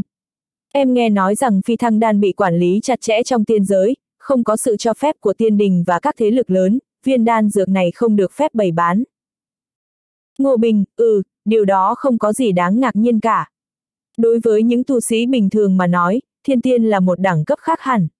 Nếu trở thành một thiên tiên dễ dàng như vậy, vậy thiên tiên sẽ không có giá trị gì. Anh đưa Vân Tịch vào động dược tổ. Lần trước, anh luyện chế ra ba loại đan dược của dược tổ ở cảnh giới Nguyên Anh, chính là hạo dương thần đan, ngũ hành long môn đan, cửu hoa thần đan. Sau khi luyện chế ba loại đan dược này, anh có thể lấy đan dược ở phòng phía sau. Căn phòng phía sau chứa những đan dược do dược tổ luyện chế trong cảnh giới bất tử, tổng cộng có hai viên, một viên là đoạt thiên đan và một viên là phi thăng đan. Trong số đó, đoạt thiên đan là đan dược đế phẩm. Phi thăng đan là đan dược đế phẩm cao cấp. Ngô Bình cười nói, tiểu tịch, anh sẽ thử xem có thể luyện chế hay không. Nơi đây có dược liệu luyện chế phi thăng đan, Ngô Bình lập tức lấy ra tứ hoang thần lò, bắt đầu luyện chế mẻ thứ nhất. Phi thăng đan là một loại tiên dược có thể biến địa tiên thành thiên tiên, sự ảo diệu của nó rất khó nắm bắt. Khi anh đang luyện chế, ngay cả dược đồng mục vũ cũng tới xem náo nhiệt, nói cậu chủ, đến lão chủ nhân cũng không thể luyện ra phi thăng đan khi ở cảnh giới của người, mãi đến khi lão chủ nhân đến cảnh giới đoạt thiên mới luyện chế thành công. Ngô Bình cười nói, vậy thì tôi sẽ cố gắng trò giỏi hơn thầy. Truyền thừa của huyền hoàng đạo tổ đã khiến anh hiểu sâu hơn về thuật luyện đan và hiểu rõ hơn về ý nghĩa của cuộc sống. Vì vậy, anh mới có thực lực luyện chế phi thăng đan. Trong vòng chưa đầy một giờ, lò luyện đan đã bật nắp lên, một luồng ánh sáng thần bí bay ra, được Ngô Bình dùng bí pháp bắt lấy, trong nháy mắt hóa thành ba viên đan dược. Đan dược này xung quanh có hào quang lưu chuyển, khí thế ngút ngàn, bên ngoài có 9 tầng ký hiệu luân chuyển, bên trong có ba cấm chế chấn động, bề mặt đan dược ngưng tụ thành một bóng người đang ngồi xếp bằng tu luyện, mặt mũi rõ ràng. Nhìn thấy viên đan dược này, Mục Phú kinh ngạc hô, mẹ đầu tiên đã là đế phẩm, lợi hại quá. Ngô Bình, còn thiếu một chút nữa. Nói xong, anh luyện chế mẻ thứ hai. Trong đợt thứ hai, anh sửa đổi một chút và sử dụng các phương pháp vu đạo. Anh sở hữu vu đạo thần thông, tinh thông 3.000 câu chú của vu đạo, mỗi một câu đều có tác dụng thần thông riêng, giờ sử dụng rất có ích đối với việc luyện đan. Lò luyện đan mở ra, ánh sáng chói lọi hơn lúc nãy tỏa ra, Ngô Bình làm theo quy luật, khiến nó hóa thành bốn viên đan dược, bên ngoài mỗi viên đan có 10 vòng tiên quang dao động, bên trong có 5 luồng cấm chế cực hạn, tỏa sáng rực rỡ, ảo diệu vô cùng. Đan dược truyền kỳ, dược đồng mục vũ vui mừng khôn xiết, chúc mừng chủ nhân. Ngô Bình lấy ra một viên phi thăng đan đưa cho Vân Tịch, nói tiểu tịch, em đưa cho lão tổ đi. Có viên đan dược này, hôm nay ông ấy có thể đột phá. Vân Tịch vui mừng khôn xiết, lập tức cầm viên đan dược rời khỏi động trước. Giờ anh cũng không rảnh rỗi mà tiếp tục luyện chế đoạt thiên đan. Đúng như tên gọi, đoạt thiên đan là một viên đan dược dùng để đột phá cảnh giới đoạt thiên. Độ khó luyện chế của nó thực ra không thấp hơn phi thăng đan. Mẻ thứ nhất, anh luyện ra đoạt thiên đan đế phẩm, mẻ thứ hai, nó đã được nâng cấp thành đan dược truyền kỳ. Luyện chế đan dược xong, anh đi ra khỏi động liền nhìn thấy Vân Tịch đang canh giữ ở bên ngoài, trên khuôn mặt xinh đẹp của cô ấy tràn đầy ý cười. Anh liền hỏi, tiểu tịch, lão tổ đột phá rồi sao? Vân Tịch gật đầu, lão tổ đã thành công đột phá thiên tiên. Ngô Bình, vậy thì tốt, dù sao cũng là phi thăng đan truyền kỳ, còn không đột phá thì đúng là quá vô lý. Vân Tịch, Huyền Bình, em nhận được tin tức, đám người Vân Đình Quang đã tụ tập ở phủ tổng đốc, bọn họ rất nhanh sẽ đến. Lão Tổ đã chuẩn bị xong xuôi, chúng ta cứ chờ xem. Nếu bên kia nói lý còn được, còn nếu không nói lý thì chỉ có thể trở mặt với họ. Ngô Bình, là một phương tộc, Vân Thị chắc chắn phải có nhiều cao thủ chấn giữ. Ai là người mạnh nhất? Vân Tịch, tất nhiên là Vân Thiên Phong, lão tổ Vân Thị, nhiều năm trước đã ở là chân tiên cấp thứ ba, ở tiên giới lão tổ cũng có chút tài sản. Nhưng Vân Thiên Phong cũng không quan lắm về chuyện ở bên dưới, phần lớn những chuyện đó đều do tông chủ quyết định. Tông chủ cũng rất mạnh, chân tiên cấp thứ nhất, nghe nói rằng bất cứ lúc nào cũng có thể đột phá đến cấp thứ hai. Những tông lão còn lại thì sao? Bọn họ có thực lực thế nào? Thập đại tông chủ tu vi không đồng đều, có thần tiên, cũng có hư tiên, trong đó thì lão tổ của em tương đối yếu. Ngô Bình, trước đó lão tổ là bán bộ tiên nhân, khó tránh khỏi bị những tông lão khác xem thường. Phân tịch, đúng vậy, cho nên lão tổ cũng phải nhẫn nhịn rất nhiều, may là giờ tốt rồi, lão tổ đã đột phá thành thiên tiên. Hai người đang nói chuyện thì chợt nghe bên ngoài truyền đến một tiếng hét lớn, Vân Phi Dương, đi ra. Đối phương nói rất lớn, không cho Vân Phi Dương chút mặt mũi nào. Ngô Bình vừa nghe liền biết người của đối phương đã đến, liền cùng Vân Tịch ra khỏi phủ xem. Vân Phi Dương và một đám thành viên Vân Thị lập tức xuất hiện. Đối diện có mấy chục người, cầm đầu là một người đàn ông trung niên mặc áo choàng đen, có ria mép, dáng người không cao, rất gầy, bên hông đeo một cái gậy ngắn. Người đàn ông trung niên mặc áo choàng đen chính là Vân Đình Quang, ông ta cười lạnh, nói, Vân Phi Dương, thời hạn đã đến rồi, giờ ông giao người ra, tôi sẽ niệm tình đồng tộc mà không làm khó các người. Còn nếu không giao người, vậy thì đừng trách tôi độc ác.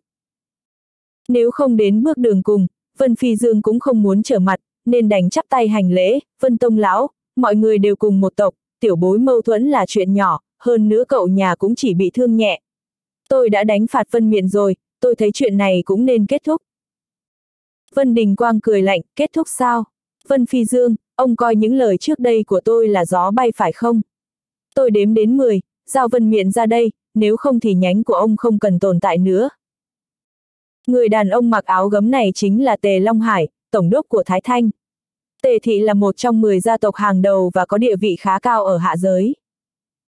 Vân Tịch tức giận đến nỗi khuôn mặt xinh đẹp tái nhợt, Ngô Bình nhẹ nhàng nắm lấy tay cô ấy, lạnh nhạt nói, Vân Đình Quang, ông dám ngang nhiên đưa vợ chưa cưới của tôi cho con rể ông làm thiếp, ông coi tôi như không khí sao. Anh bước ra, khí chất hiên ngang, biểu cảm của mọi người liền thay đổi. Vân Đình Quang nhíu mày, cậu chính là tên nhóc của tiên điện thiên võ sao?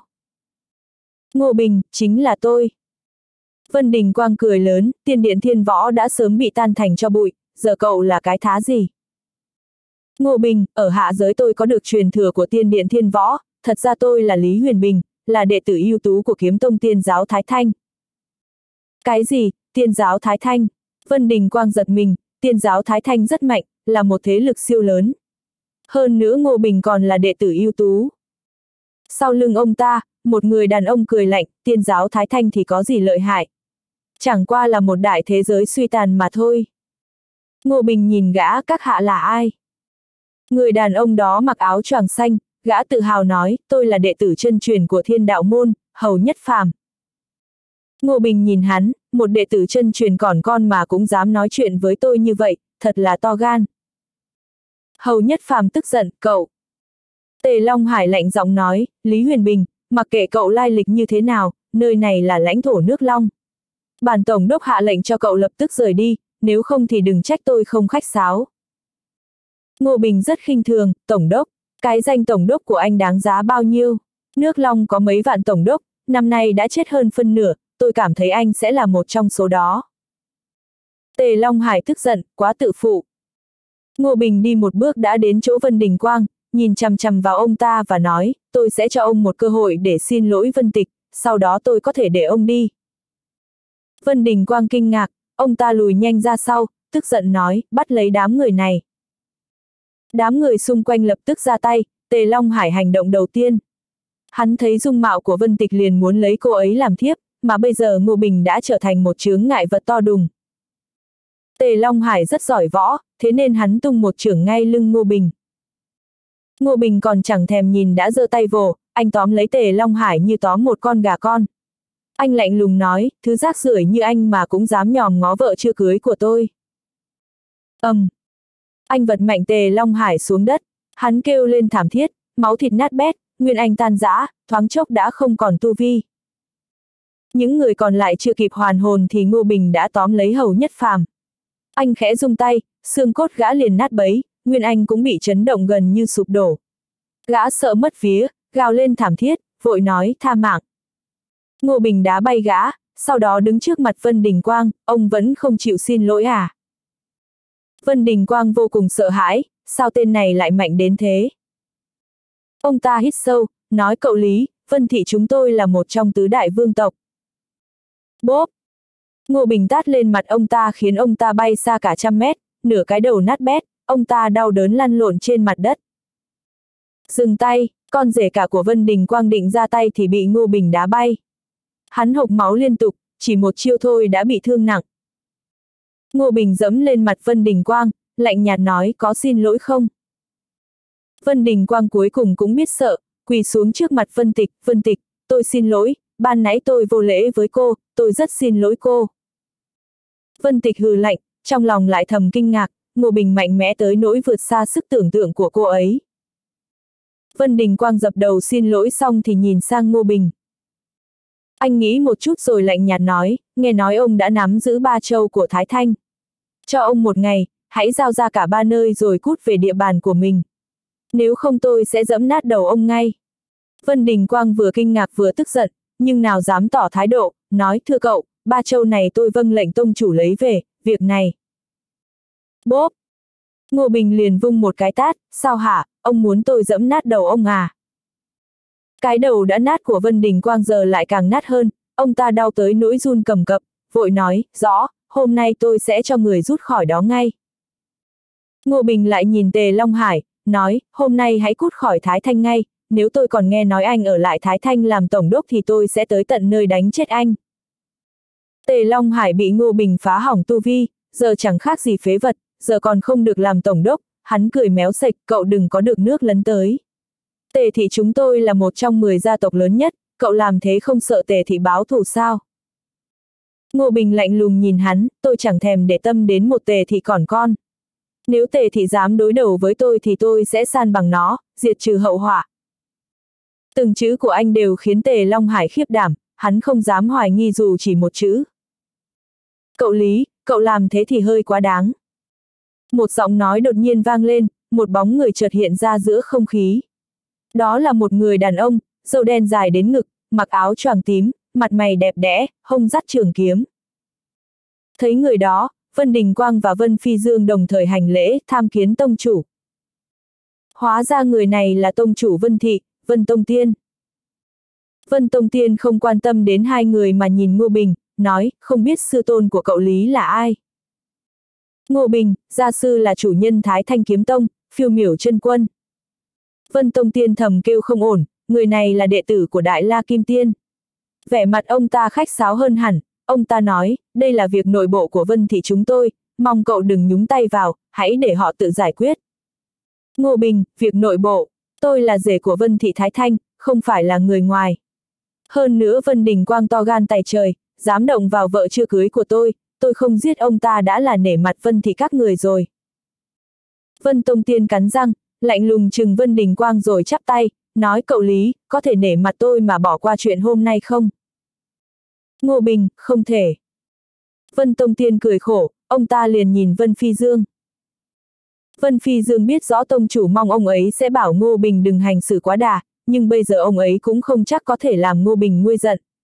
Vân Phi Dương ho một tiếng, nói Huyền Bình, lão tổ thấy ba châu đó thì chúng ta chỉ cần một châu là được. Còn vị trí tổng đốc của nhà họ Tề, chỉ cần họ không quá đáng thì cũng không cần quan tâm đâu. Ngô Bình hỏi Vân Tịch, vợ ơi, em thấy thế nào? Vân Tịch nói, Huyền Bình, nghe lời lão tổ đi. Lúc này Ngô Bình mới nói, được, vậy nghe lời lão tổ. Tất cả đều thở phào, Vân Tông Tiên chắp tay nói, cậu Lý, nếu cậu có thời gian thì xin mời cậu đến Vân Thị chơi. Ngô Bình, để tôi xem. Đám người Vân Đình Quang như được đại xá, liền vội vàng chuồn đi, không lâu sau Vân Tông Tiên cũng đi. Vân Phi Dương thở phào, cười nói, Huyền Bình, hôm nay may nhờ có cậu, nếu không tôi thực sự không biết nên giải quyết thế nào.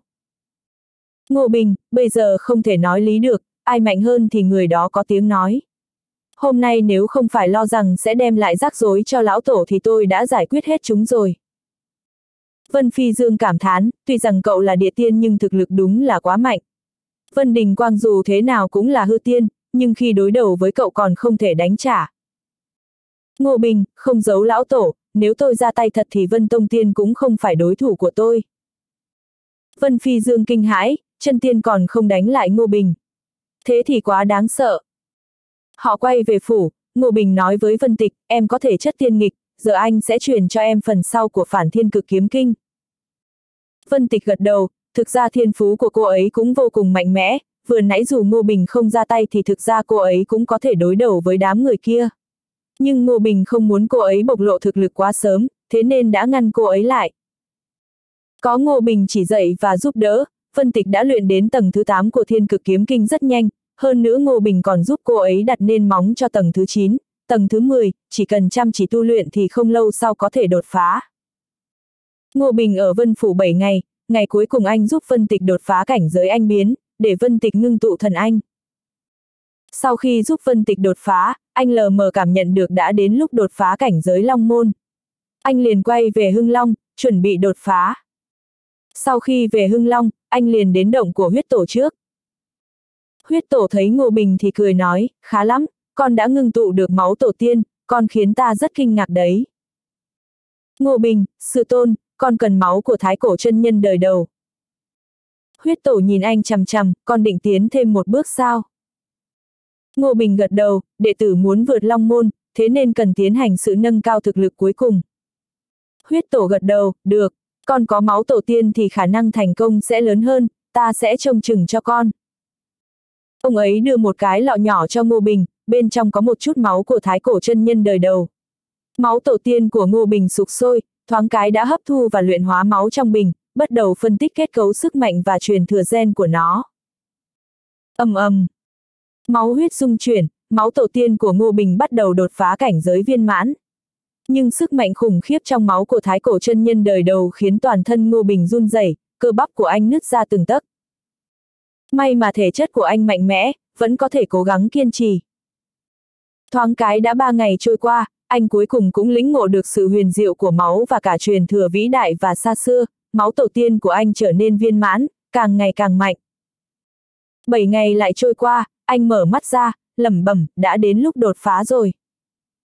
Anh đi ra khỏi động thiên, thanh tuyết thiên chủ liền xuất hiện, cô ta nói, Huyền Bình, cậu sắp vượt long môn sao? Ngô Bình gật đầu, thanh tuyết, tôi cảm thấy thời cơ đã chín muồi. Thanh tuyết thiên chủ, tôi khuyên cậu khi nào vào thiên giới hắn đột phá. Ngô Bình giật mình, ô, vào thiên giới. Thanh tuyết thiên chủ gật đầu, thiên giới là thế giới có duy độ cao, đột phá ở đó thì cơ thể và tinh thần của cậu mới có thể hoàn toàn mở ra, tiếp xúc đến cảnh giới cao thâm hơn. Cậu là thiên tài hàng đầu của học phủ truyền kỳ, có tư cách bước vào thiên giới, đừng lãng phí cơ hội như vậy. Ngô Bình, được, vậy tôi sẽ đến thiên giới rồi đột phá. Đến học phủ truyền kỳ, Ngô Bình tìm được Triệu Hàn Sơn.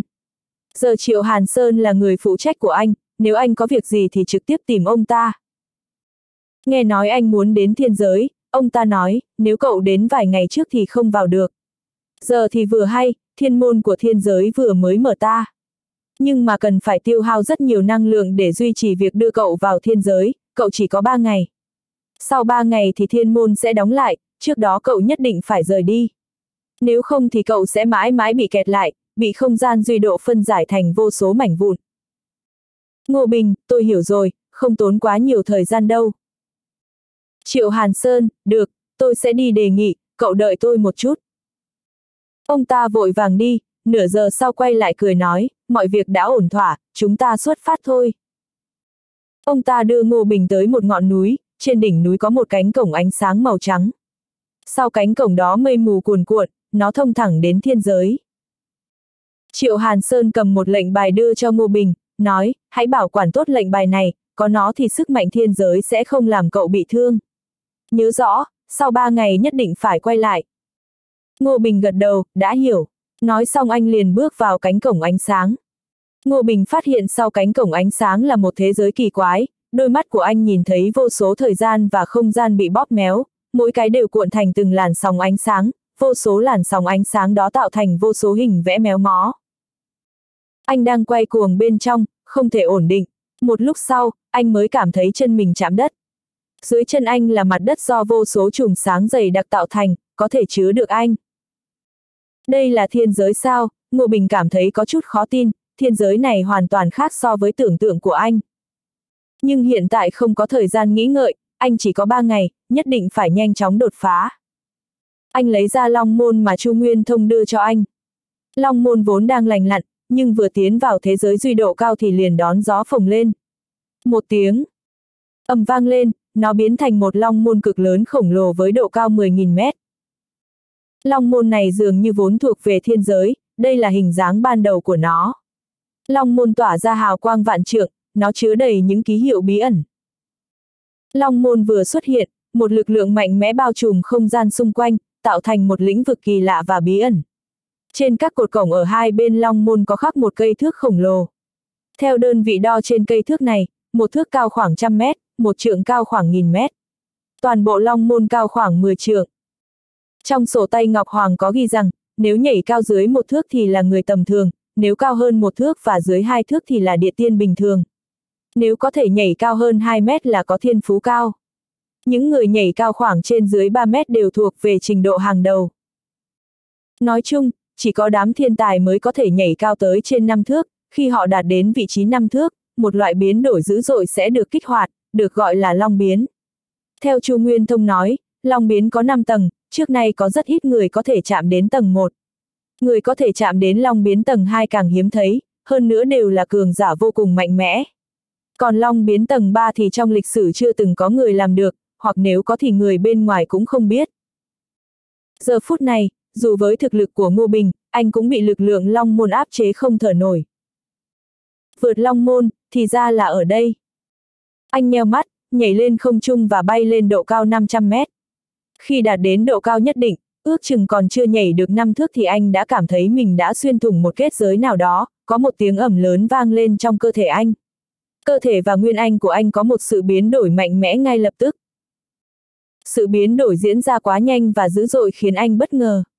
Trong nháy mắt, anh cảm thấy mình như biến thành một người khác, hoàn toàn khác trước. Đây chính là long biến tầng 1. Cơ thể anh đang bay lên, nhưng quá trình bay lên rất chậm, khoảng cách từ 500m đến 1.200m mất hơn 1 giờ. Khi thân thể anh đột phá độ cao tương đương 1.200m thì lại chạm phải một kết giới, lần này anh cũng đột phá, nhưng không dễ dàng như lần trước. Bùm!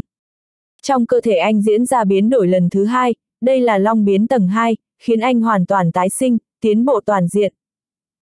Sau khi diễn ra long biến tầng 2, anh tiếp tục bay lên, khi đến kết giới thứ ba, anh đã dùng hết sức để đánh vỡ nó, cố gắng lắm mới đột phá được. Cơ thể và tinh thần của anh bị chấn động điên cuồng, anh đã đạt đến long biến tầng 3. Lần này sự biến đổi triệt để và toàn diện hơn. Sau khi chuyển hóa xong, anh cảm giác được có một tia năng lượng cao cấp từ trong thiên giới bắt đầu tiến vào trong cơ thể và thần anh của mình, khiến anh càng thêm mạnh mẽ. Ngô Bình có thể dễ dàng đột phá long biến tầng 3 là vì anh đã có thu hoạch lớn trong vu đạo động thiên, còn hấp thu và luyện hóa máu của thái cổ chân nhân đời đầu. Ngoài ra, anh đã trải qua ba lần thiên kiếp, tất cả đều là nền tảng vững chắc để anh có thể vượt long môn ngày hôm nay. Cơ thể của Ngô Bình tiếp tục bay lên, kéo dài trong một giờ, anh bay lên khoảng 1.000 mét và bắt đầu chạm vào kết giới thứ tư. Lần này khó khăn hơn, anh đập mạnh một cái, nhưng kết giới không nhúc nhích chút nào, thế là anh đánh lần thứ hai, lần thứ ba, liên tiếp mười mấy lần, kết giới vẫn vững vàng. Anh vô cùng tức giận, sức mạnh đế bộc phát hoàn toàn, ba cấm chế đồng thời rung động, một luồng sức mạnh đáng sợ hội tụ ở nắm đấm của anh, anh tung mạnh một đòn. bùm, Kết giới cuối cùng cũng bị phá vỡ, thân thể của anh không ngừng bay lên, bắt đầu long biến tầng 4. Lúc này thân thể Ngô Bình thay đổi rõ rệt, anh biến thành người khổng lồ cao hơn nghìn mét, những thời không thần bí ẩn chứa trong cơ thể anh lần lượt hiện ra. Thần cấm trong thời không giao nhau, phù chú dày đặc.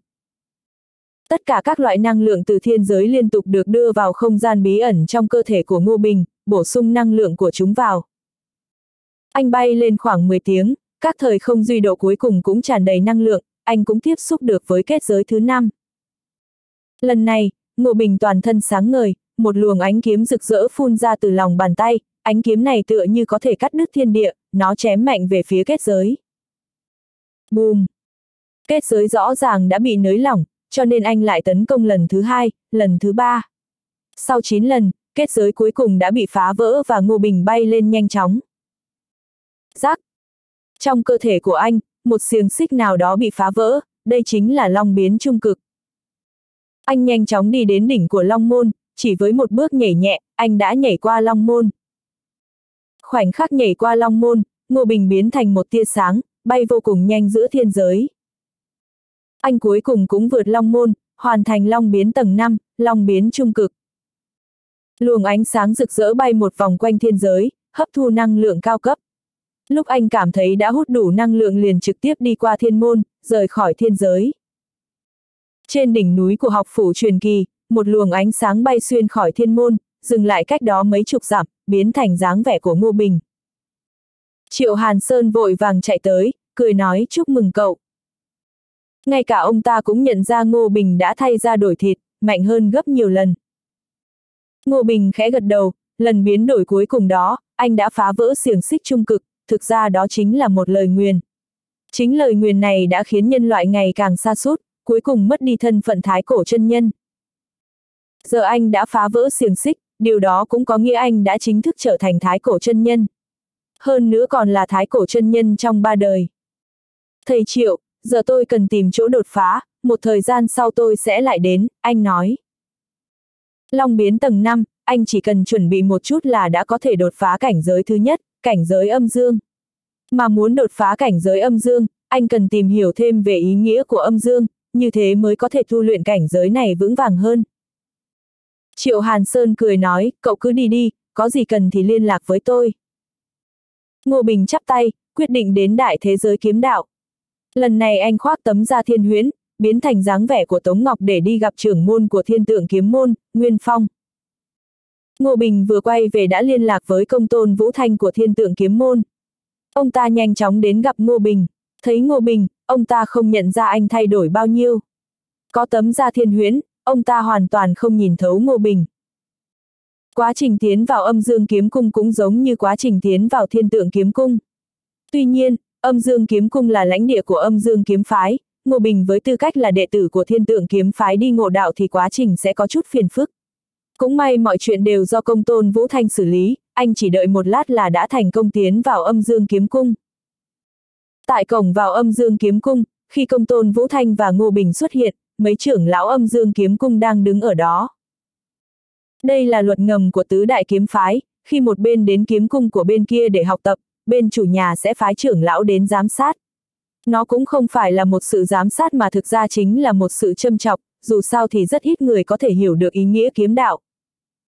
Tính ra thì thiên tượng kiếm phái đã mấy ngàn năm không đưa đệ tử tiến vào âm dương kiếm cung, cho nên sự xuất hiện của Ngô Bình lập tức thu hút rất nhiều trưởng lão và đệ tử của âm dương kiếm phái đi ra xem náo nhiệt. Nhìn thấy Tống Ngọc, một đám người lập tức cười ha hả, ý nghĩa thiên tượng của chính bên mình còn chưa học được đã tới âm dương kiếm cung chúng ta, ha ha, không biết thế nào là tham thì thâm à. Ngô Bình làm ngơ trước lời nói của họ, trực tiếp đi lên cầu bay và đi về phía cổng. Một người khác nói, tôi cá là cậu ta không đỡ nổi ba chiêu của con rối kiếm đạo. Tôi cực hai chiêu, một người khác nói. Công tôn Vũ Thanh trầm mặc, tông chủ không cho phép nhắc tới thiên phú của Tống Ngọc, cho nên không thể nói ra. Ngay sau đó, Ngô Bình đã dùng thực tế để vả mọi người một cú đau điếng. Keng! Một tiếng kiếm vang lên, Ngô Bình chặt đứt con rối kiếm đạo khiến nó ngã xuống dưới cây cầu chỉ bằng một nhát kiếm, sau đó cánh cổng mở ra, anh liền bước vào. Ngô Bình đã đạt được ý nghĩa âm dương tầng 1, chuyến đi này của anh là để đạt được ý nghĩa âm dương tầng 2. Giống như tình huống ở thiên tượng kiếm cung, anh vừa tiến vào, ý nghĩa âm dương tầng một liền ùa vào trong thức hải của anh, nếu không phải anh có tinh thần mạnh mẽ, hơn nữa đã tu luyện qua từ lâu thì anh đã bị biến thành tên ngốc rồi. Lúc này anh mới biết được ý nghĩa âm dương huyền có 3 cảnh giới, mỗi cảnh giới có 3 tầng, tổng cộng có 9 tầng ý nghĩa âm dương, cực hạn của nó cũng giống như cửu âm cửu dương. Nói đến âm dương, trên thực tế anh vẫn luôn tiếp xúc với nó, bất kể là âm dương tạo hóa công, thiên dương kinh và thái âm kinh của âm dương thiên châu hay là âm dương kiếm hoàn đều có liên quan đến âm dương. Bây giờ, cuối cùng anh cũng có thể học ý nghĩa âm dương một cách có hệ thống.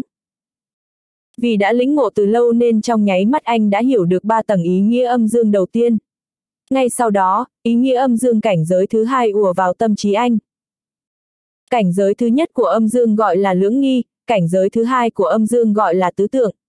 Thái cực sinh lưỡng nghi, lưỡng nghi sinh tứ tượng, tứ tượng sinh quái. Vì vậy, cảnh giới thứ ba chính là cảnh giới quái. Cảnh giới tứ tượng có ba tầng. Ngô Bình có sự tích lũy sâu sắc trong cảnh giới âm dương, vì vậy trong nháy mắt anh đã hiểu ý nghĩa tứ tượng. Âm dương chia vạn vật thành hai, tức là một là dương và một là âm, tứ tượng dựa trên sự phân đôi tiếp tục phân đôi nữa, tức là chia làm bốn, là thiếu dương, thiếu âm, thái dương và thái âm. So với âm dương, tứ tượng mô tả sự vật và quy luật chính xác hơn, nhưng nó cũng khó tu luyện hơn. Vào khoảnh khắc anh lĩnh hội ý nghĩa tứ tượng, ý nghĩa âm dương cảnh giới thứ ba liền ùa vào trong đầu, đó là cảnh giới quái. Ngô Bình có được ý nghĩa quái liền rời khỏi âm dương kiếm cung. Thấy Ngô Bình ra sớm như vậy, người ngoài cho rằng anh ngộ đạo không thành, lại tiếp tục cười nhạo. Hãy nhìn xem, mới 15 phút đã đi ra, hiển nhiên là chẳng đạt được gì. Cái này quá bình thường, đã nhiều năm như vậy mà không có người nào có thể lĩnh ngộ ý nghĩa âm dương, ngay cả âm dương kiếm môn chúng ta cũng không làm được, thiên tượng kiếm môn làm sao có thể lĩnh ngộ. Trong khi mọi người đang thảo luận, Ngô Bình bắn ra bốn luồng ánh kiếm. Bốn luồng ánh kiếm này tung ra dựa theo ý nghĩa tứ tượng, là lam, trắng, đỏ, đen. Ngay khi bốn luồng ánh kiếm xuất hiện, tất cả mọi người đều chết lặng. Công tôn Vũ Thanh mừng rỡ, công tử, người lĩnh ngộ ý nghĩa âm dương rồi sao? Ngô Bình gật đầu, tôi có học một chút, nhưng không phải hoàn toàn. Công tôn trưởng lão, nếu như sư phụ không ở đây thì tôi đi trước. Từ biệt công tôn Vũ Thanh, anh điều khiển ánh kiếm bốn màu và biến mất ngay lập tức, để lại mọi người trong âm dương kiếm môn đưa mắt nhìn nhau. Sau khi rời khỏi đại thế giới kiếm đạo, anh về nhà sắp xếp lại ý nghĩa âm dương, lĩnh ngộ xong liền tiến vào tháp tiên võ. Anh còn chưa tiến vào ba tầng cuối cùng của tháp tiên võ, bởi vì chỉ có sau cảnh giới long môn thì anh mới có thể tiến vào để tiếp nhận kiểm tra trung cực. Sau kiểm tra trung cực, anh có thể nhận được phần thưởng do đại đế tiên quốc để lại. Khi anh hiện thân trở thành Ngô Bình, người giữ tháp lập tức hưng phấn nói, võ vương đại nhân, người đã tới rồi, lần này người muốn kiểm tra võ hoàng sao. Ngô Bình kiểm tra càng lúc càng cao, đầu tiên là võ tông, sau đó là võ vương, lần này hắn đoán có thể là võ hoàng. Người giữ tháp này cũng là người quen cũ, Ngô Bình nói kiểm tra trung cực. Nhưng anh nói đúng, sau kiểm tra, tôi sẽ là võ hoàng. Kiểm tra trung cực sẽ đo lường chính xác thực lực và cảnh giới của Ngô Bình, đưa ra đánh giá cuối cùng, với thực lực của anh, trở thành võ hoàng không khó. Võ hoàng là đánh giá cao nhất mà tháp tiên võ có thể đưa ra, tương đương với hoàng đế võ đạo. Sau khi đi vào tháp tiên võ, người thiếu niên nói, anh cuối cùng cũng tới rồi. Ngô Bình, bắt đầu kiểm tra đi. Người thiếu niên nói, cảnh giới địa tiên, cần tiếp vào kiểm tra tầng 12. Đến tầng thứ 12 thì có ánh tiên tiến vào cơ thể Ngô Bình. Thứ này tương tự với ánh sáng mà bảo sách thiên kiêu tỏa ra, nhưng năng lượng rất mạnh mẽ, kiểm tra cũng tỉ mỉ hơn. Ánh tiên dao động trên cơ thể anh khoảng một phút. Khi ánh tiên này biến mất, thiếu niên xuất hiện, nói chúc mừng, anh đã trở thành võ hoàng trí tôn thất tinh. Ngô Bình, thất tinh sao? Tôi còn tưởng là thập tinh chứ. Thiếu niên cười nói, võ hoàng chỉ có ngũ tinh, thiên phú của anh quá tuyệt vời, thế nên tôi cho thất tinh, thực ra đã là cao nhất rồi. Ngô Bình gật đầu, hóa ra là thế. Anh nhận huy chương, thiếu niên lại đưa một cái nhẫn, nói, đây là nhẫn càn khôn, bên trong có bảo bối đại đế ban cho, hãy nhận lấy. Ngô Bình nhìn cái nhẫn, nói cảm ơn, cho tôi thêm huy chương của võ hoàng truyền kỳ tứ tinh đi. Anh không muốn người khác biết thân phận võ hoàng trí tôn của mình, thế nên muốn lấy thêm thân phận võ hoàng truyền kỳ, đây cũng tương ứng với thân phận võ vương truyền kỳ cửu tinh lúc trước. Đi ra khỏi tháp tiên võ thì quả nhiên bên ngoài có rất nhiều người đứng chờ, ai nấy đều nhìn Ngô Bình chằm chằm, muốn biết kết quả. Ngô Bình không khiến họ thất vọng, anh đưa ra huy chương võ hoàng, mọi người đều hô lên kinh ngạc. Võ hoàng truyền kỳ tứ tinh, trời ơi, cuối cùng cũng có võ hoàng xuất hiện. Võ hoàng, đúng như tên gọi, chính là hoàng đế võ đạo. Giỏi quá! Không hổ là người mạnh nhất học phủ truyền kỳ, không khiến chúng ta thất vọng. Chắc là viện trưởng hối hận lắm nhỉ, thiên tài như thế mà lại ép người ta rời đi, đúng là không biết viện trưởng nghĩ gì. Ngô Bình còn có việc nên anh chắp tay với mọi người, sau đó bay lên đi mất. Học viện võ đạo đã không còn liên quan nhiều với anh nữa, dù sao thì so với học phủ truyền kỳ thì học viện võ đạo chẳng có ý nghĩa gì, địa vị cũng không cao bằng học phủ truyền kỳ. Ngô Bình rời khỏi học phủ rồi tới lối vào của Tam Hoàng giới, nơi này đã được khai phá từ lâu, nhưng ngoài anh ra thì chưa có ai nhận được truyền thừa Tam Hoàng thật sự. Tam Hoàng gồm Thần Hoàng, Vu Hoàng và Huyền Hoàng. Lần trước, Ngô Bình đã nhận được truyền thừa ban đầu của Tam Hoàng. Ý chí của Tam Hoàng từng nói với anh là nếu anh có thể tiến vào cảnh giới đế thì có thể quay lại nơi này, sau đó lấy được truyền thừa cụ thể và kho báu của Tam Hoàng. Lần này, Ngộ Bình quay lại, giọng nói ấy vẫn vang lên, quả nhiên cậu không làm tôi thất vọng.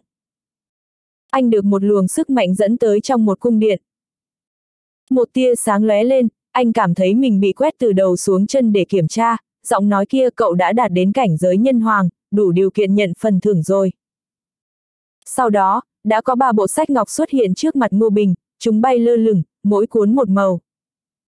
Giọng nói kia, đây chính là truyền thừa cụ thể của Tam Hoàng. Tiếp đó, lại có thêm ba cái nhẫn xuất hiện, chúng là đồ của Tam Hoàng. Ngô Bình không kịp nhìn kỹ mà cất hết đi ngay. Giọng nói kia, truyền thừa của Tam Hoàng đã tìm được truyền nhân, sứ mệnh của Tam Hoàng giới đã hoàn thành. Giọng nói ấy vừa nói dứt câu thì trời đất trao đảo, cả Tam Hoàng giới biến mất, còn Ngô Bình cũng được đưa ra ngoài. Cùng bị đẩy ra giống anh còn có hơn nghìn tu sĩ đang mò mẫm ở đây. Những người này đều có vẻ hoang mang, không biết có chuyện gì xảy ra mà mình lại bị đẩy ra ngoài. Chỉ có Ngô Bình biết lý do, anh lẩm bẩm, truyền thừa này là cảm ngộ ban đầu của Tam Hoàng, ắt sẽ có gợi ý với mình, nhưng không biết họ đi đến được bước nào rồi. Anh đang vội đi cứu bố nên lập tức lên mạng tiên để mua một phù chú cấp đạo quân rồi nhanh chóng đi tới núi Hỗn Mang. Núi Hỗn Mang nằm ở đại lục Hồng Hoang, đây là lần đầu tiên Ngô Bình đặt chân đến đây. Vì không quen đường nên anh tới thiên đạo môn trước, sau đó nhờ Tiêu Thái Tôn chỉ đường. Sau khi biết Ngô Bình định đến đại lục Hồng Hoang, Tiêu Thái Tôn đã đích thân dẫn đường cho anh. Ngô Bình không ngờ là đại lục Hồng Hoang lại rộng lớn đến vậy. Khi anh vừa đặt chân đến đây thì đã cảm thấy có một luồng khí thức hoang cổ ập tới, khiến anh thấy rất thoải mái và cảm giác như đang về nhà. Điều này cũng đúng thôi, giờ Ngô Bình đã có thể chất chân chân thái cổ, mà đại lục hồng hoang lại chính là nơi sinh sống ban đầu của chân nhân thái cổ. Đại lục hồng hoang không những rộng lớn mà quy luật tự nhiên và trật tự xã hội cũng nhiều, vì thế dùng võ thuật hoặc phép thần thông ở đây khó hơn ở tiên giới và hạ giới nhiều. Ví dụ một người có thể bay được cả triệu cây em một ngày ở tiên giới, nhưng nếu đến đại lục hồng hoang thì chỉ có thể bay được một nửa số đó, đây chính là sự khác biệt. Trọng lực của đại lục hồng hoang cũng lớn hơn hạ giới trên trăm lần, một tảng đá nặng 50 cân ở hạ giới sẽ nặng trên 10.000 cân ở đây. Sau khi hít được một làn khí ở đại lục hồng hoang, Ngô Bình thoải mái nhắm mắt lại. Tiêu Thái Tôn cười hỏi, thấy không quen đúng không? Đừng lo, dần rồi con sẽ thích ứng được thôi. Quy luật và trật tự ở đây rất đặc biệt, hơn tiên giới với đại lục côn ngô nhiều, lần đầu tiên ta đến đây đi bộ còn thấy khó mà. Nhưng câu trả lời của Ngô Bình đã khiến Tiêu Thái Tôn phải câm nín. Sư Tôn, con không thấy lạ chút nào, ngược lại thấy thoải mái như ở nhà ấy ạ. À. Tiêu Thái Tôn Huyền Bình, núi hỗn mang rất nguy hiểm, thật ra ta chưa muốn con đến đó vội, dẫu sao con cũng mới vượt long môn, còn chưa đến cảnh giới bất tử. Ngô Bình, sư tôn yên tâm, cảnh giới bất tử với con mà nói không quan trọng. Về tu vi, tuy Ngô Bình mới ở cảnh giới long môn, nhưng tu hành thì anh đã là nhân hoàng rồi, thậm chí còn chạm tới ngưỡng thánh nhân. Tiêu Thái Tôn, ừ, ta tôn trọng quyết định của con. Sư Tôn, con tự đến đó một mình thôi ạ, người về trước đi. Tiêu Thái Tôn biết tiếp theo mình không giúp được gì Ngô Bình nữa nên đành gật đầu, sau đó nhắc Ngô Bình cẩn thận rồi chào tạm biệt anh. Tiễn Tiêu Thái Tôn đi rồi, Ngô Bình đi tiếp một mình, anh không bay mà bước đi, vì như thế khiến anh thấy rất dễ chịu. Anh mới đi được mấy bước thì cơ thể chợt tự động cao lớn thêm, cuối cùng anh đã cao trên 5 mét, khí tức bức người trong cơ thể phóng ra cũng là khí tức của nhân hoàng. ầm ầm, mặt đất rung lên, có một con mãnh thú chạy tới, Ngô Bình đứng lại rồi nhìn sang bên trái. Anh thấy có một con gấu đen khổng lồ, khi nó đứng thẳng thì cao trên 50 mét, trông hệt như một ngọn núi nhỏ. Có bốn người thiếu niên đang đứng trên lưng con gấu, thoạt nhìn họ chỉ khoảng 16, 17 tuổi. Cả bốn cậu thiếu niên này đều cao khoảng mét 9, khi họ nhìn thấy Ngô Bình thì chợt sững người, sau đó lần lượt nhảy xuống dưới rồi cung kính quỷ dưới đất. Nhân hoàng bệ hạ, bốn cậu thiếu niên vô cùng kích động, thậm chí có người còn rơi lệ, ánh mắt họ nhìn Ngô Bình chứa đầy vẻ sùng bái. Ngô Bình thấy hơi bất ngờ, anh quan sát họ rồi hỏi, các cậu là ai? Hai bên nói ngôn ngữ khác nhau, nhưng điều này không cản trở việc giao tiếp giữa họ. Bởi sau khi trở thành nhân hoàng, Ngô Bình chỉ cần nghe người khác nói vài câu là đã có thể biết được ngôn ngữ của họ. Một cậu thiếu niên giống thủ lĩnh của nhóm này lễ phép đáp, nhân hoàng bệ hạ, chúng thuộc hạ là người của bộ lạc Hắc Hùng, ban nãy chợt cảm thấy khí tức của nhân hoàng nên mới tới chào ạ. Ngô Bình ừm một tiếng rồi nói, đứng dậy cả đi. Bốn cậu thiếu niên đều đứng dậy, nhưng vẻ sùng bái trong mắt họ không giảm đi chút nào. Ngô Bình hỏi, bộ lạc của các cậu có xa đây không? Một người đáp, không ạ, chỉ khoảng 2.000 tiễn thôi. Một tiễn bằng 1,5 km nên 2.000 tiễn sẽ vào khoảng 3.000 cây số. Ngô Bình mới đến đây lần đầu nên còn nhiều lạ lắm, vì thế anh nói, tôi vừa tới đây nên muốn đến bộ lạc của các cậu tham quan, được không? Bốn cậu thiếu niên hạnh phúc tới mức suýt ngất xỉu, có nhân hoàng đến chơi thì còn gì vinh hạnh bằng nữa. Vì quá xúc động nên mãi không có ai đáp lời Ngô Bình. Anh cười nói, không hoan nghênh tôi à? Không ạ, một người vội nói, chúng thuộc hạ đều hoan nghênh bệ hạ. Bệ hạ, mời người lên lưng con gấu đen.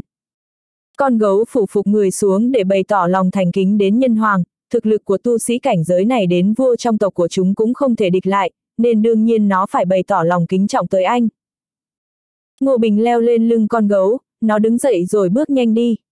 Mấy cậu thiếu niên đi trước dẫn đường, họ cũng đi như bay, tốc độ không thua gì con gấu. Họ đi được gần nghìn cây số thì chợt rẽ sang bên trái, Ngô Bình hỏi, sao không đi thẳng? Một người thiếu niên đáp, bệ hạ, phía trước là địa bàn của ngân bối lang vương, tộc Hắc Hùng không đánh lại được nó nên phải đi đường vòng. Ngô Bình thờ ơ nói, không phải đi vòng, cứ đi thẳng tiếp đi. Anh là nhân hoàng rồi mà phải sợ một con lang vương ư. Quả nhiên con gấu đen đi thêm một đoạn nữa thì có tiếng rít vang lên rồi tới gần họ, không lâu sau, một con sói khổng lồ đã xuất hiện, sau đó lạnh lùng lườm Ngô Bình. Nhìn thấy con sói ấy, con gấu đen lập tức gầm lên như thể đang cảnh cáo rằng nó đang cõng nhân hoàng trên lưng, con sói chớ vô lễ. Nhưng con lang vương vẫn lạnh mặt rồi nhìn chòng chọc vào Ngô Bình bằng ánh mắt đầy khiêu khích, không hề nể mặt anh chút nào. Audio điện tử võ tấn bền. Hết tập 87